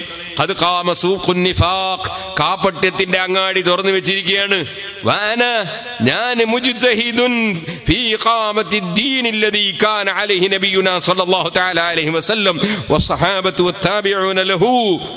ഞാൻ അള്ളാഹുവിന്റെ റസൂൽ സല്ലല്ലാഹു അലൈഹി വസല്ലം ഏതൊരു ദീനിലായിരുന്നോ? സ്വഹാബത്ത് ഏതൊരു ദീനിലായിരുന്നു. അവരെ പിന്തുടർന്ന് ജീവിച്ച മഹാന്മാർ ഏതൊരു ദീനിലായിരുന്നു. ആ ദീൻ ഇവിടെ നിലനിൽക്കാൻ വേണ്ടി കഠിനമായി പരിശ്രമിക്കുന്ന പ്രവർത്തകനാണ് ഞാൻ. മഹാനായ പറയാണ്. എന്നിട്ട് പറയാണ് ഇത് അവസാന കാലമാണ്. അത് ഏകദേശം ആളുകളുടെയും ദൈവം ഇന്ന് പൊന്നും പണവുമാണ്. ഏകദേശം ആളുകളുടെയും ദൈവം ഇന്ന് പൊന്നും പടവുമാണ്. പണം കിട്ടുമെങ്കിൽ എന്തും പറയും എന്തും ചെയ്യും. സുബാനുള്ള ഹലാലു ഹറാമില്ല കച്ചവടം ചെയ്യുമ്പോ. ഹലാലു ഹറാമില്ല തൊഴിലെടുക്കുമ്പോ. അങ്ങനെ ഏകദേശം ആളുകളുടെയും ദൈവം പൊന്നും പണവുമായി പോയി. അത് മൂസ. പലരും മൂസാ നബിയുടെ ജനങ്ങളെ പോലെയായി പോയി. അല്ലെങ്കിൽ അവരെ ഹൃദയങ്ങളിൽ അതാ പശുക്കുട്ടിയെ കുടിപ്പിക്കപ്പെട്ടിരിക്കുന്നു മൂസാ നബിയുടെ സമൂഹത്തിൽ. അതുപോലെ ഇന്നത്തെ കാലത്തുള്ള പശുക്കുട്ടി അത് പൊന്നും പണവുമാണ് ഹലാലും ഹറാമും ഇല്ലാത്ത കച്ചവടം ഹലാലും ഹറാമില്ലാത്ത ജീവിതം. വാങ്ങിയാ കൊടുക്കാതിരിക്കൽ കടം വാങ്ങിയാ കൊടുക്കാതിരിക്കൽ. എല്ലാം ലോകത്ത് പരന്നുപോയി. മുനാഫിക്കിങ്ങളെ ജീവിതം വന്നുപോയി. എന്ന് മഹീദീൻ ഷെഹ്ലാനോ അന്ന് പറഞ്ഞെങ്കിൽ ഇന്നത്തെ കാലം പറയണോ? മഹാന്മാര് എത്ര ശ്രദ്ധിച്ചുകൊണ്ടാണ് ജീവിതം നയിച്ചത്? ബഹുമാനപ്പെട്ട ഇമാം അബൂ ഹനീഫത്തുൽ കൂഫി റളിയല്ലാഹു അൻഹു. ഞാൻ എന്റെ വാക്കുകൾ നിർത്തട്ടെ എന്റെ ചെറുപ്പക്കാർക്ക് എഴുന്നേറ്റ് നിൽക്കണം. ദൂരെ നിൽക്കുന്ന മുഅ്മിനീങ്ങൾ മജ്ലിസിലേക്ക് വരണം. അള്ളാഹുവിനോട് ദുആ ചെയ്ത് പിരിയണം. മഹാനായ അബൂ ഹനീഫത്തുൽ കൂഫി റളിയല്ലാഹു അൻഹു നല്ല വെയിലത്ത് എല്ലാവരും തൊട്ടടുത്തുള്ള ഒരു ബിൽഡിങ്ങിൽ കയറി നിൽക്കുമ്പോ അബൂ ഹനീഫ് റളിയല്ലാഹു അൻഹു വെയിലത്ത് നിൽക്കുകയാണ് തണൽ നിൽക്കുന്നില്ല. ആരോ ചോദിച്ച തണൽ കയറി നിന്നൂടെ. അബൂ ഹനീഫ് പറഞ്ഞു വേണ്ട. കാരണം ആ ബിൽഡിങ്ങിന്റെ ഉടമസ്ഥൻ എനിക്കൊരു സംഖ്യ തരാനുണ്ട്. എനിക്കൊരു സംഖ്യ അയാൾ തരാനുണ്ട്. അപ്പൊ ഞാൻ ആ ബിൽഡിങ്ങിന്റെ തണൽ ഞാൻ അനുഭവിച്ചാൽ അത് പടച്ചവന്റെ അടുക്കൽ ഒരു പലിശയായി പോകുമോ എന്ന് ഭയപ്പെടുകയാണ്. അവരുടെ സൂക്ഷ്മത നോക്ക് നിങ്ങൾ മഹാന്മാരെ സൂക്ഷ്മത. സുബാനുള്ള വളരെ സൂക്ഷ്മതയോടെ ജീവിച്ചു മഹാന്മാരായ ആരിഫീങ്ങളും സാലിഹീങ്ങളും. സൂക്ഷ്മതയോടെ ജീവിച്ചു. അവരെല്ലാ രംഗവും സൂക്ഷ്മതയോടെ ജീവിച്ചു. അവർക്ക് അള്ളാഹുവിന്റെ അടുക്കൽ അള്ളാഹു വലിയ സ്ഥാനം കൊടുത്തു. റബ്ബ് തആല അവരുദ്ദേശിച്ചതെല്ലാം ചെയ്തു കൊടുത്തു. അങ്ങനെയാണല്ലോ അള്ളാഹു സുബ്ഹാനഹു വ അവന്റെ പതിവ്. അതാണ് എന്നോടേകൽ ഉടയവൻ തന്റെകൾ ആകൂന്ന് ഞാൻ ചൊല്ലില്ലാകും അതെന്നോവർ വേണം എന്ന് വിചാരിച്ചൊരു കാര്യം പറഞ്ഞാൽ അള്ളാഹു തആല ചെയ്തു കൊടുക്കും. അല്ലേ? ഒരു ദിവസം ഇങ്ങനെ സിയാറത്ത് ചെയ്യാണ്. എവിടെ സ്വന്തം ഉസ്താദിന്റെ കബർ സിയാറത്ത് ചെയ്യാണ്. കൂടെ ശിഷ്യന്മാരൊക്കെ ഉണ്ട്. കുറേ നേരം അവിടെ ചിന്തുമായിരുന്നു സുബാനല്ലാ അവിടുന്ന് ഇറങ്ങി വരുമ്പോ ഒരു ശിഷ്യൻ ചോദിച്ചു ഉസ്താദ് ഇത്ര സമയം നിങ്ങൾക്ക് എന്തായാലും ഇവിടെ? ഇത്ര അധികം സമയം സിയാറത്തിനെടുത്തത് എന്താ? അത് എന്റെ ഉസ്താദിന്റെ കൈക്ക് ചെറിയ അബദ്ധം കണ്ടു ഞാൻ ഖബറിൽ അതൊന്ന് ശരിയാക്കി കൊടുക്കാൻ ഞാൻ അള്ളാഹുവിനോട് പറഞ്ഞു. പറഞ്ഞപ്പോൾ ലോകം മുഴുക്കിയുള്ള ഔലിയാക്കളെല്ലാം എന്റെ ദ്വാ കാമീം പറഞ്ഞു. കാരണം അള്ളാഹു താല എന്റെ ഉസ്താദിന്റെ കൈ ഖബറിൽ ശരിയാക്കി കൊടുത്തു. അപ്പം ഞാൻ ഖബറിന്റെ അടുത്ത് ഇറങ്ങിയതാണ്. മൊഹീദ്ദീൻ സിഹർ അള്ളാഹനു ശിഷ്യന്മാരോട് പറഞ്ഞപ്പോൾ ഒരു ശിഷ്യൻ ചോദിച്ചു അതിനെന്താ തെളിവ് എന്ന് ചോദിച്ചു. നിങ്ങളിപ്പോൾ ഇങ്ങനെ പറഞ്ഞു എന്നല്ലാതെ ഖബറിന്റെ ഉള്ളിൽ നടന്ന് നമ്മൾ കാണുന്നില്ല. ലോകോട്ടാക്കൾ ഔലിയാക്കൾ നിങ്ങൾ ദ്വാ കാമി പറഞ്ഞു നമുക്ക് മനസ്സിലാകുന്നില്ല. തെളിവ് എന്താന്ന് ചോദിച്ചു. എന്നാ മോനെ തെളിവ് വേണ്ടത്? രണ്ട് സാക്ഷിയല്ലേ ഇസ്ലാമിൽ തെളിവ്? ഓ രണ്ട് സാക്ഷി വേണോ. അപ്പൊ ആരാ സാക്ഷി വേണ്ടത്? നിങ്ങൾ ആമീൻ പറഞ്ഞ കുറെ ഔലിയാക്കല്ലേ ലോകത്തൊട്ടാകെ. ഞാൻ രണ്ടാൾ വന്ന് പറയട്ടെ നിങ്ങൾ ഇങ്ങനെ ഇത് വരുന്നപ്പോൾ അവർക്ക് ആമീൻ പറഞ്ഞു എന്ന് പറയട്ടെ? ഓ അവിടെ തന്നെ നിൽക്കുന്നു പറഞ്ഞു. കുറഞ്ഞ സമയം കൊണ്ട് ഒരു ഓടി വന്നിട്ട് പറഞ്ഞു ഈ ഷെയ്ഖ് ഇപ്പോൾ നിങ്ങളോട് പറഞ്ഞ കാര്യം ഹക്കാണ് ഞാനതിന് സാക്ഷിയാണ്. അദ്ദേഹം മാറി നിൽക്കുമ്പോഴേക്ക് വേറൊരാൾ ഓടി വന്നിട്ട് പറഞ്ഞു ഈ പറഞ്ഞ ഇപ്പോൾ ഈ ഷെയ്ഖ് നിങ്ങളോട് പറഞ്ഞ കാര്യം ഹക്കാണ് ഞാനതിന് സാക്ഷിയാണ്. അതാണ് ഉസ്താദ് ഖബറകത്തുസ്താദേ കുറവാക്കി കണ്ടാരെ കബറിങ്ങലി വെച്ചിട്ട് നീക്കിച്ച് വെച്ചോവർ. അള്ളാഹു താല ഏത് ദ്വാക്കും വിജാപത്ത് കൊടുത്തു. ഏത് കാര്യവും വേണമെന്ന് വിചാരിച്ച് പറഞ്ഞാൽ അത് അള്ളാഹു തല നിറവേറ്റി കൊടുത്തു.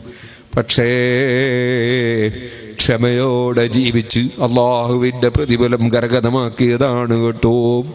നാൽപ്പതിലധികം മക്കളുണ്ടായിരുന്നു. എന്റെ ഓർമ്മ ശരിയാണെങ്കിൽ നാൽപ്പത്തൊമ്പതോളം മക്കളുണ്ടായിരുന്നു. ഏകദേശ മക്കളും മരിച്ചു പോയിട്ടുണ്ട്. സുബഹാനല്ല കുറഞ്ഞ മക്കളാണ് ബാക്കിയായത്. പക്ഷേ ഒരു കുട്ടി ജനിച്ചാൽ മഹാനവറുകളെ പതിവ്. ആ കുട്ടിയെ എടുത്ത് മടിയിൽ വെക്കും എന്നിട്ട് പറയും അല്ലാ ഇത് നീ തന്നതാണ്. ഇതെന്തായാലും മരിച്ചു പോകുന്നതാണ്. നീ ഉദ്ദേശിച്ച സമയത്ത് നീ മരിക്കുപ്പിക്കുമെന്ന് എനിക്ക് ഉറപ്പാണ്. നിന്റെ തീരുമാനത്തിൽ ഞാൻ സംതൃപ്തനാണ്. സുബാനല്ലാ എത്രയോ മക്കൾ മരിച്ചുപോയി. പക്ഷേ പിന്നെയും കുറേ മക്കൾ ബാക്കിയായി. അങ്ങനെ എന്റെ ഓർമ്മ ശരിയാണെങ്കിൽ പതിനാലോളം മക്കൾ ബാക്കിയായിട്ടുണ്ട്. അധിക മക്കളും മരണപ്പെട്ടു പോയിട്ടുണ്ട്. വളരെയേറെ വിഷമിച്ച് ഭക്ഷണം കിട്ടാതെ ബുദ്ധിമുട്ടിയ സമയമുണ്ട്. ഒരിക്കലും ഒന്നും കിട്ടാതെ വിഷമിച്ചിങ്ങനെ ഇലകളൊക്കെ പറിച്ചു തിന്നു. എന്നിട്ട് ഇലയും കിട്ടാത്ത അവസ്ഥയായി. ഒരു ദിവസം ഇങ്ങനെ പോകുമ്പോൾ മഹാനവറുകൾ പറഞ്ഞു ഞാൻ ഒരു സ്ഥലത്തെത്തി അപ്പോഴുണ്ട് ഒരാൾ ഏതാ ഭക്ഷണം കഴിക്കുന്നു. അദ്ദേഹം ഭക്ഷണം എടുത്ത് വായിലിടുമ്പോൾ എന്റെ വായിൽ നിന്ന് വെള്ളം പൊട്ടുന്നു. എന്റെ വായി തുറന്നു പോകുന്നു. ഞാൻ യാചിക്കൂല എന്ന് ഉറപ്പിച്ചതാണ്. അവസാനം ഞാൻ അടുത്തു ചെന്നു നിന്നു. അദ്ദേഹം എന്നെ ഭക്ഷണത്തിന് ക്ഷണിച്ചു. ഞാൻ ആദ്യം തയ്യാറായില്ല വീണ്ടും ക്ഷണിച്ചു. തയ്യാറായില്ല വീണ്ടും നിർബന്ധിച്ച് ക്ഷണിച്ചപ്പോൾ ഞാൻ കഴിച്ചു.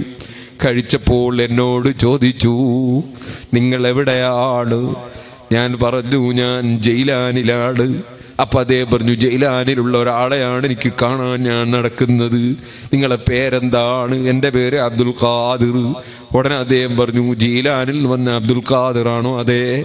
എന്നാൽ നിങ്ങൾ എനിക്ക് പൊരുത്തപ്പെടണം. എന്തേ? നിങ്ങൾക്ക് തരാൻ വേണ്ടി ഒരാൾ എന്റെ കയ്യിൽ കുറച്ച് ഭക്ഷണം ഏൽപ്പിച്ചു. ആ ഭക്ഷണം കൊണ്ട് ഞാൻ ഇവിടെ ബഗ്ദാദിലേക്ക് വന്നു. പക്ഷേ നിങ്ങളെ എവിടെ തെരഞ്ഞിട്ടും കിട്ടിയില്ല. എന്റെ കയ്യിലുള്ള ഭക്ഷണമെല്ലാം തീർന്നു പോയി. ഞാൻ പട്ടിണിയായി മൂന്ന് ദിവസം ഒന്നും കഴിക്കാതെ ആയപ്പോൾ ഒന്നും കഴിച്ചില്ലെങ്കിൽ ഞാൻ മരിച്ചു പോകുന്നായപ്പോൾ എനിക്ക് പന്നീർച്ചി വരെ ഹലാലായ സമയമായപ്പോൾ നിങ്ങൾക്ക് തരാൻ ഒരാൾ ഏൽപ്പിച്ച ഭക്ഷണത്തിൽ നിന്ന് എടുത്ത് ഞാൻ കഴിച്ചു. അത് കഴിക്കുമ്പോഴാ നിങ്ങൾ വന്നത്. അതുകൊണ്ട് യഥാർത്ഥത്തിൽ ഞാൻ നിങ്ങളെ അതിഥിയാണ്. നിങ്ങൾ ഈ ഭക്ഷണത്തിന്റെ ഉടമസ്ഥനാണ്. അങ്ങനെ പ്രയാസപ്പെട്ട് ജീവിച്ചിട്ടുണ്ട്. അതാണ് ഊണും ഉറക്കും ഒന്നുമേ കൂടാതെ മൂവാണ്ട് കാലം പോറുത്ത് നടന്നവർ. അതേ ഇരുപത്തയ്യാണ്ടോളം ചുറ്റി നടന്നവർ. ഇരിയന്നേകൾ കേട്ടാരേ ഇരുന്നവർ. നന്നായി ക്ഷമിച്ച് ഇൽമ പഠിച്ചിട്ടുണ്ട്. പഠിച്ച ഇൽമനുസരിച്ച് ജീവിച്ചിട്ടുണ്ട്. അപ്പോൾ അള്ളാഹു തേര വലിയ സ്ഥാനം കൊടുത്തു. അതാണ് എന്നൂടെ ഏകല്ലുടേവൻ തന്റെ ഏകൽ ആകൂന്ന് ഞാൻ ചൊൽകിൽ ആകും അതെന്നോവർ അള്ളാഹു വലിയ സ്ഥാനം കൊടുത്തു. ആ മഹാനായ ഹോസുല്ലാദമിനെയും അനുസ്മരിക്കുന്ന മാസമാണ്. അള്ളാഹുത്തൽ അവരുടെ എല്ലാം ബർക്കത്തുകൊണ്ട് നമുക്ക് ഈമാനും തക്കുകയും ഏറ്റി തീരുമാറാകട്ടെ. നമ്മുടെ അമലുകളെല്ലാം അള്ളാഹു കബൂൽ ചെയ്യുമാറാകട്ടെ. എല്ലാവരും ഹൗസുല്ലാദമിന്റെ പേരിലും നമ്മളിൽ മരിച്ചുപോയ താജുല്ലുൽ മുതൽ ബഹുമാനപ്പെട്ട യൂസുഫുൽ ജീലാനി ഖദ്ദസല്ലാഹു അസറാർഹും അവരെല്ലാവരുടെ പേരിൽ നമ്മൾ വിട്ടുപിരിഞ്ഞു എല്ലാ ആലിമീങ്ങൾ മൂമിനീങ്ങൾ മുത്തക്കീങ്ങൾ നമ്മുടെ സുന്നത്ത് ജമാഅത്തിന്റെ ഹാദിമീങ്ങൾ സഹായികൾ സഹകാരികൾ എല്ലാവരുടെ പേരിലും നമുക്കൊരു ഫാത്തിഹ ഓതിയിട്ട് ദ്വാ ചെയ്യണം. അള്ളാഹു നമ്മുടെ മജിരിസ് ദ്വാക്കുത്തരമുള്ള മജിരിസാക്കി തരട്ടെ. നമ്മുടെ അമലുകളെല്ലാം അള്ളാഹു കബൂൽ ചെയ്യുമാറാകട്ടെ. ബഹുമാനപ്പെട്ട തങ്ങൾ എന്നോട് പറഞ്ഞു ഇവിടെ പിരിവൊന്നുമില്ല ഞങ്ങൾ സിറാജുലേക്ക് പിരിവെടുത്തോളിയെന്ന് പറഞ്ഞു. സിറാജുലുദക്ക് വലിയ സംഖ്യ ആവശ്യമുണ്ട്. പക്ഷേ ഇപ്പോൾ സിറാജുലുദക്ക് ഞാൻ പിരിവെടുക്കുന്നില്ല. നിങ്ങളുടെ ഒക്കെ അടുക്കൽ നമ്മുടെ റിസീവർമാർ വരുമ്പോൾ നല്ല പൈസ നിങ്ങൾ കൊടുത്തേക്കണം. കുട്ടികൾക്ക് ഭക്ഷണം കൊടുക്കാനും ഒരു മാസത്തിൽ അറുപത് ലക്ഷം എഴുപത് ലക്ഷം ഉറുപ്പിയ ചെലവിന് വേണം. അതിന് നമുക്ക് വരുമാനമൊന്നുമില്ല. ഞങ്ങളൊക്കെ വരസംഖ്യ കൊടുത്തേക്കുന്നത് തന്നെയാണ് അതിന്റെ വരുമാനം. അതുകൊണ്ട് എല്ലാവരും വിദേശത്തുള്ളവർ വിദേശത്തു നിന്ന് നാട്ടിലുള്ളവർ നാട്ടിൽ നിന്നൊക്കെ കഴിവിന്റെ പരമാവധി സഹായം കൊടുത്തേക്കണം. അതേ സമയത്ത് ഞാനൊരു ദിവസം സിറാജുൽ സുബീസ്കരിച്ചിട്ട് കോളേജിലേക്ക് ഇങ്ങനെ പോകുമ്പോൾ ഒരാൾ വന്നിട്ട് പറഞ്ഞു ബത്തേരിയുള്ള സുലൈമാന്റെ ബാപ്പ മരിച്ചു പോയി എന്നാണ്. സുലൈമാൻ തന്നെ എന്റെ അടുത്ത് ഫത്തുൽ മീൻ എഴുതിയൊരു കുട്ടിയാണ്. അവിടെ എപ്പോഴും പഠിച്ചുകൊണ്ടിരിക്കുന്ന കുട്ടിയാണ്. മരിച്ചു പോയി എന്ന് പറഞ്ഞു അപ്പോൾ ഞാൻ പറഞ്ഞു പെട്ടെന്ന് ആ കുട്ടീനെ വിളിച്ച് അയക്കണം നാട്ടിലേക്ക് എന്ന് പറഞ്ഞു. അങ്ങനെ ആ കുട്ടി എന്റെ അടുത്ത് വന്നു. ആ കുട്ടീനെ നാട്ടിലേക്ക് അയച്ചു. ഒരു ഏകദേശം ഒരു മാസം മുമ്പ് എന്നോട് വന്ന് പറഞ്ഞു ബാപ്പ മരിച്ചു പോയി. ഒരു പെങ്ങളെ കല്യാണമുണ്ട്. ആ പെങ്ങളെ കല്യാണം കഴിപ്പിക്കാൻ കഴിവൊന്നുമില്ല. വളരെ വിഷമാണ് അതുകൊണ്ട് ഉസ്താദ് കഴിയുന്ന സഹായം ചെയ്യണമെന്ന് പറഞ്ഞു. ഞാൻ മിനിഞ്ഞാന്ന് ഞാൻ ചോദിച്ച് പൊന്നൊക്കെ ആയോന്ന് ചോദിച്ചു. എത്ര പൊന്നാ കൊടുക്കുന്നതെന്ന് ചോദിച്ചു. പത്ത് പവനേ കൊടുക്കുന്നുള്ളൂ എന്നാണ് അത് ഏറ്റവും ചുരുങ്ങിയതായിരിക്കും ഞാൻ മനസ്സിലാക്കുന്നത്. വയനാട്ടിലാണല്ലോ. ഏറ്റവും ചുരുങ്ങിയതായിരിക്കും. ഞാൻ ചോദിച്ചു പൊന്നെത്രയായിരുന്നു ചോദിച്ചു നാല് പവൻ ആറ് പവനോളം ഏകദേശം ആയിട്ടുണ്ട് എന്ന് ഒരു നാല് പവനോടിയും വേണം. ഒരു പവന് ഞാനിതിങ്ങനെ ഫോണിൽ സംസാരിക്കുന്നത് കേട്ടപ്പോൾ റഷീദ് മുസ്ലിയാർ തന്നെ ഒരാൾ പാലക്കാട്ടുകാരനാണ്. അപ്പോൾ ഒറ്റപ്പാലത്ത് തന്നെ അയാൾ പറഞ്ഞു ഒരു ഒരു പവന് ഞാൻ തരുമെന്ന് പറഞ്ഞു. അങ്ങനെ ഒന്ന് കിട്ടി അത് ഞാൻ കൊണ്ടു കൊടുത്തു. വേറൊരാൾ അതെങ്ങനെയോ അറിഞ്ഞിട്ട് അദ്ദേഹം ഒരു ചെറിയ സംഖ്യ കൊടുത്തേക്കാന്ന് പറഞ്ഞു ഇരുപത്തയ്യായിരം റുപ്യ കൊടുത്തേക്കാന്ന് പറഞ്ഞു. അത് കിട്ടുമെന്ന് വിചാരിക്കുക അപ്പം അമ്പത്തഞ്ചായി ഇനിയും കുറച്ചും കൂടി കിട്ടണം എന്നാൽ ആ പെൺകുട്ടീന്റെ കല്യാണം നടക്കും. അതുകൊണ്ട് നിങ്ങളൊക്കെ നിങ്ങളെ കയ്യിലുള്ളതിൽ നിന്ന് നല്ല സംഖ്യ ആ പാപ്പ മരിച്ചു പോയ പെൺകുട്ടിയുടെ കല്യാണത്തിന് നിങ്ങളൊക്കെ തരണം. ഇനി ഒരു പവനൊക്കെ തരാൻ കഴിയുന്നവർക്ക് അങ്ങനെയും തരുന്നതിന് കുഴപ്പമൊന്നുമില്ല. കൂടിപ്പോകുന്നതിന് പേടിക്കേണ്ട. വേറെയും പാപ്പ മരിച്ചു പോയ മക്കളെ വേറെയും കല്യാണങ്ങളുണ്ട്. അവിടെ കൂടിപ്പോകുന്ന ആരും പേടിക്കേണ്ട. നല്ലോണം തന്നോളി. സിറാജുലോക്ക് ഇപ്പോൾ പിരിവൊന്നും എടുക്കുന്നില്ല. സിറാജുലോക്ക് നിങ്ങളെല്ലാവരും എപ്പോഴും കൊടുക്കണം. സിറാജുലോക്ക് ഇപ്പം നിങ്ങൾ പിരിവ് തന്നാൽ ഇവിടുന്ന് കിട്ടുന്ന സംഖ്യ ഒരു ദിവസത്തെ ചിലവിനും കൂടി ഉണ്ടാവില്ല. അത് ചെറിയ സംഖ്യ കിട്ടുള്ളൂ. നിങ്ങൾക്ക് വീട്ടിലെത്തുമ്പോൾ നല്ല സംഖ്യ ഉണ്ടാവുമല്ലോ. അപ്പോൾ നിങ്ങൾക്ക് ചെക്കും കൊടുക്കുക പൊന്നും കൊടുക്കുക നല്ല സംഭാവന വീട്ടിൽ നിന്ന് കൊടുക്കാമല്ലോ ഈ റവീസ് റസീവർമാർ ഒക്കെ വരുമല്ലോ. അള്ളാഹുത്തല എല്ലാവരിലും എല്ലാ അമലും കബൂൽ ചെയ്യട്ടെ. അള്ളാഹുത്തല നമ്മുടെ അമലുകളൊക്കെ സ്വീകരിക്കട്ടെ. എല്ലാവരും ഫാത്തിയും സുഹൃത്തു പറഞ്ഞിട്ട് നമുക്ക് ദ്വാരക്കണം അള്ളാഹുത്തല നമ്മുടെ ഉമ്മ ബാപ്പമാർ തമ്മിൽ മരിച്ചുപോയ എല്ലാവർക്കും അള്ളാഹു പുറത്തു കൊടുക്കട്ടെ.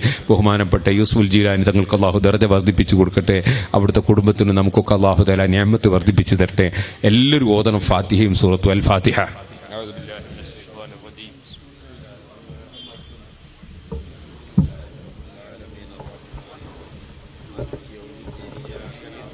കൈ പിടിക്കുന്ന മൈക്കുണ്ടാവും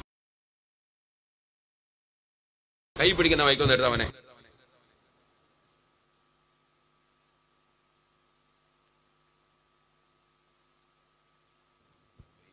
صراط الذين أنعمت عليهم غير المغضوب عليهم ولا الضالين آمين بسم الله الرحمن الرحيم قل هو الله أحد الله الصمد لم يلد ولم يولد ولم يكن له كفوا أحد സിറാജുലിലേക്ക് പലവും നേർച്ചയും സംഭാവനയൊക്കെ ഏൽപ്പിച്ചവരുണ്ട് അള്ളാഹു തല എല്ലാവർക്കും ഹൈർ ചെയ്യട്ടെ ഞാൻ അതിനെ ഇത് മതി അത് വേണ്ടാന്ന് പറഞ്ഞ കൊണ്ടാണ് ബിസ്മില്ലാഹിർ റഹ്മാനിർ റഹീം ഖുൽ ഹുവല്ലാഹു അഹദ് സിറാജുലിന്റെ ആരോടും കൊടുത്താൽ മതി ആരും കൈ കൊടുത്താൽ മതി ബിസ്- അതാ ആ കുട്ടീന്റെ കൊടുത്തു സിറാജുലേക്ക് അവിടെ കൊടുത്തോളാം ഇത് ആ പാവപ്പെട്ട കുട്ടിയുടെ കല്യാണത്തിനാണ് ബിസ്മില്ലാഹിർ റഹ്മാനിർ റഹീം ഖുൽ ഹുവല്ലാഹു അഹദ് അല്ലാഹു الصمد لم يلد ولم يولد ولم يكن له كفوا أحد بسم الله الرحمن الرحيم قل هو الله أحد الله الصمد لم يلد ولم يولد ولم يكن له كفوا أحد بسم الله الرحمن الرحيم. قل هو الله أحد. الله الصمد لم يلد ولم يولد ولم يكن له كفوا أحد. بسم الله الرحمن الرحيم. قل أعوذ برب الفلق. من شر ما خلق ومن شر غاسق إذا وقب.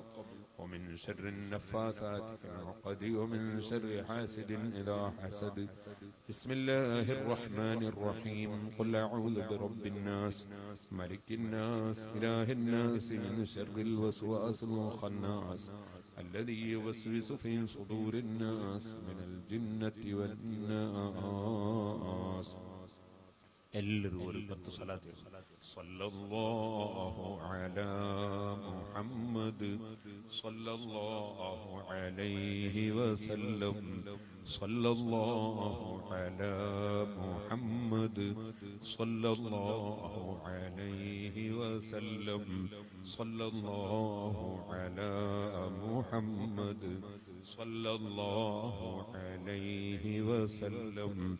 صلى الله على محمد.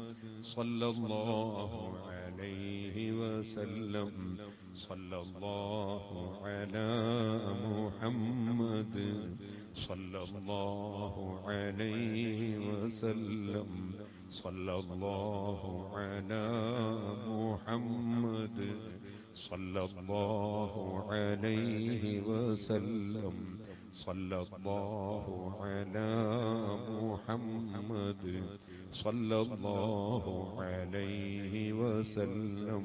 صلى الله على محمد. صلى الله عليه وسلم. صلى الله على محمد. صلى الله عليه وسلم.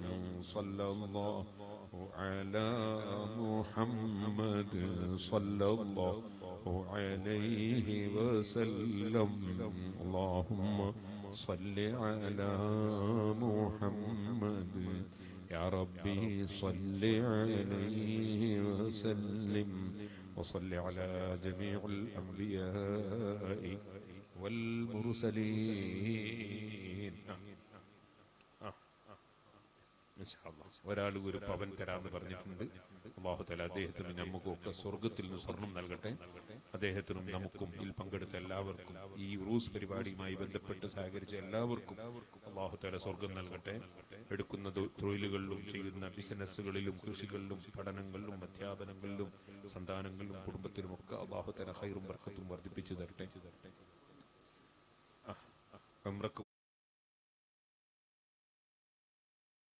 പോകാൻ ഉദ്ദേശിച്ചവരുണ്ട്.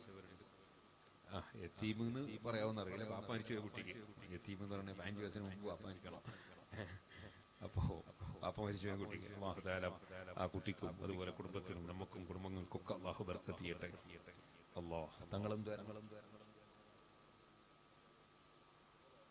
الحمد لله رب العالمين حمدا يوافي نعمه ويكافئ مزيدا اللهم صل وسلم وبارك على رسولك وحبيبك سيدنا محمد وعلى اله واصحاب سيدنا مولانا محمد അർഹമുറാഹിമിനായ റബ്ബെ ഞങ്ങൾ ഓതിയതെല്ലാം നീ കബൂൽ ചെയ്യണം റഹ്മാനെ ഞങ്ങൾ പറഞ്ഞതും കേട്ടതും സൽക്കൈതും ഈ പരിപാടി മുഴുവനും നീ കബൂൽ ചെയ്യണം റഹ്മാനെ ഞങ്ങൾ ഓതിയതിന്റെ പ്രതിഫലം പോലെ ഞങ്ങൾ നീയത്ത് ചെയ്ത എല്ലാവരുടെ കബറിലും നീ എത്തിച്ചു കൊടുക്കണം റഹ്മാൻ അള്ളാഹുവെ പലരും പല രോഗങ്ങളുള്ളവരുണ്ട് ഏത് രോഗമാണെങ്കിലും നീ സുഖപ്പെടുത്തണം റഹ്മാൻ ഗർഭിണികൾക്ക് സുഖപ്രസവം നൽകണം റഹ്മാൻ അള്ളാഹുവെ വളരെ സങ്കടത്തോടുകൂടി ഗർഭിണികളായ ആളുകളെ സംബന്ധിച്ച് ദുആ ചെയ്യാൻ വേണ്ടി പറഞ്ഞവരുണ്ട്. നീ സലാമത്താക്കണം റഹ്മാൻ ചെറിയ കുട്ടിക്ക് അസുഖമായി വളരെ വിഷമിച്ചുകൊണ്ട് ഐ ഐസുവിൽ കിടത്തി വെന്റിലേറ്ററിലാണ് ദുആ ചെയ്യാൻ പറഞ്ഞുകൊണ്ട് നീ സലാമത്താക്കണം റഹ്മാൻ അള്ളാഹുവെ എത്രയോ ആളുകൾ മക്കളില്ലാത്തവരുണ്ട് അവർക്ക് ഹൈറായ മക്കളെ കൊടുക്കണം റഹ്മാനെ.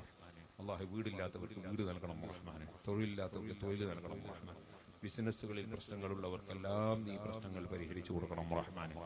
അള്ളാഹു ഞങ്ങളിൽ ആർക്ക് എന്ത് പ്രയാസങ്ങളുണ്ടോ നീ നീക്കി തരണം റഹ്മാനെ. അള്ളാഹു തക്കുവയോടെ ജീവിക്കാനുള്ള ഭാഗ്യം തരണം റഹ്മാൻ. ജീവിതത്തിൽ വന്ന എല്ലാ തെറ്റുകുറ്റങ്ങളും മാപ്പാക്കണം റഹ്മാൻ. ഞങ്ങൾ ചെയ്യുന്ന എല്ലാ യാത്രകളിലും നിന്റെ കാവൽ നൽകണം റഹ്മാൻ. നിന്റെ കാവൽ നൽകണം റഹ്മാൻ. അള്ളാഹുവെ നിന്റെ ദീനിനു വേണ്ടി ഞങ്ങൾ നടത്തുന്ന എല്ലാ യാത്രകളും നിന്റെ കഥനാവിൽ നിന്ന് നീ ഹൈറായത് ചരിച്ചു തരണം റഹ്മാൻ. അള്ളാഹുവെ നിന്റെ സഹായമല്ലാതെ ഞങ്ങൾക്കൊരു സഹായവുമില്ല. നീ ഞങ്ങൾ എല്ലാ സ്ഥലങ്ങളിലും എപ്പോഴും എവിടെയും സഹായിക്കണം റഹ്മാൻ. എല്ലാ സാഹചര്യങ്ങളും സിഹറിൽ നിന്നും ആയിനിയങ്ങൾ ആയനിൽ നിന്നും ഹാസിദീങ്ങൾ ഹസദിൽ നിന്നും എല്ലാ സെറുള്ളവരുടെ സെറുകളിലും നീ കാക്കണം റഹ്മാൻ. അള്ളാഹുവെ ഞങ്ങൾക്ക് എല്ലാവർക്കും നിന്റെ പൊരുത്തത്തിൽ ദീർഘായുസും ആഫിയത്തും തക്കുവയും ഞങ്ങളുടെ നേതാക്കൾക്കും പ്രവർത്തകർക്കും ഞങ്ങളുടെ സാധാത്തുക്കൾക്കും ആലിമീങ്ങൾക്കും ദീനിന്റെ മുഴുവൻ ഹാദിമീങ്ങൾക്കും നീ വർദ്ധിപ്പിച്ചു തരണം റഹ്മാനെ. അള്ളാഹുവെ മരിക്കുന്ന സമയത്ത് ഈ മനസ്സിലാമത്താക്കണം റഹ്മാൻ. ലാ ഇലഹ ഇല്ലല്ലാഹ് എന്ന കലിമ ചൊല്ലി ആഖിബത്ത് നന്നാക്കി മരിപ്പിക്കണം.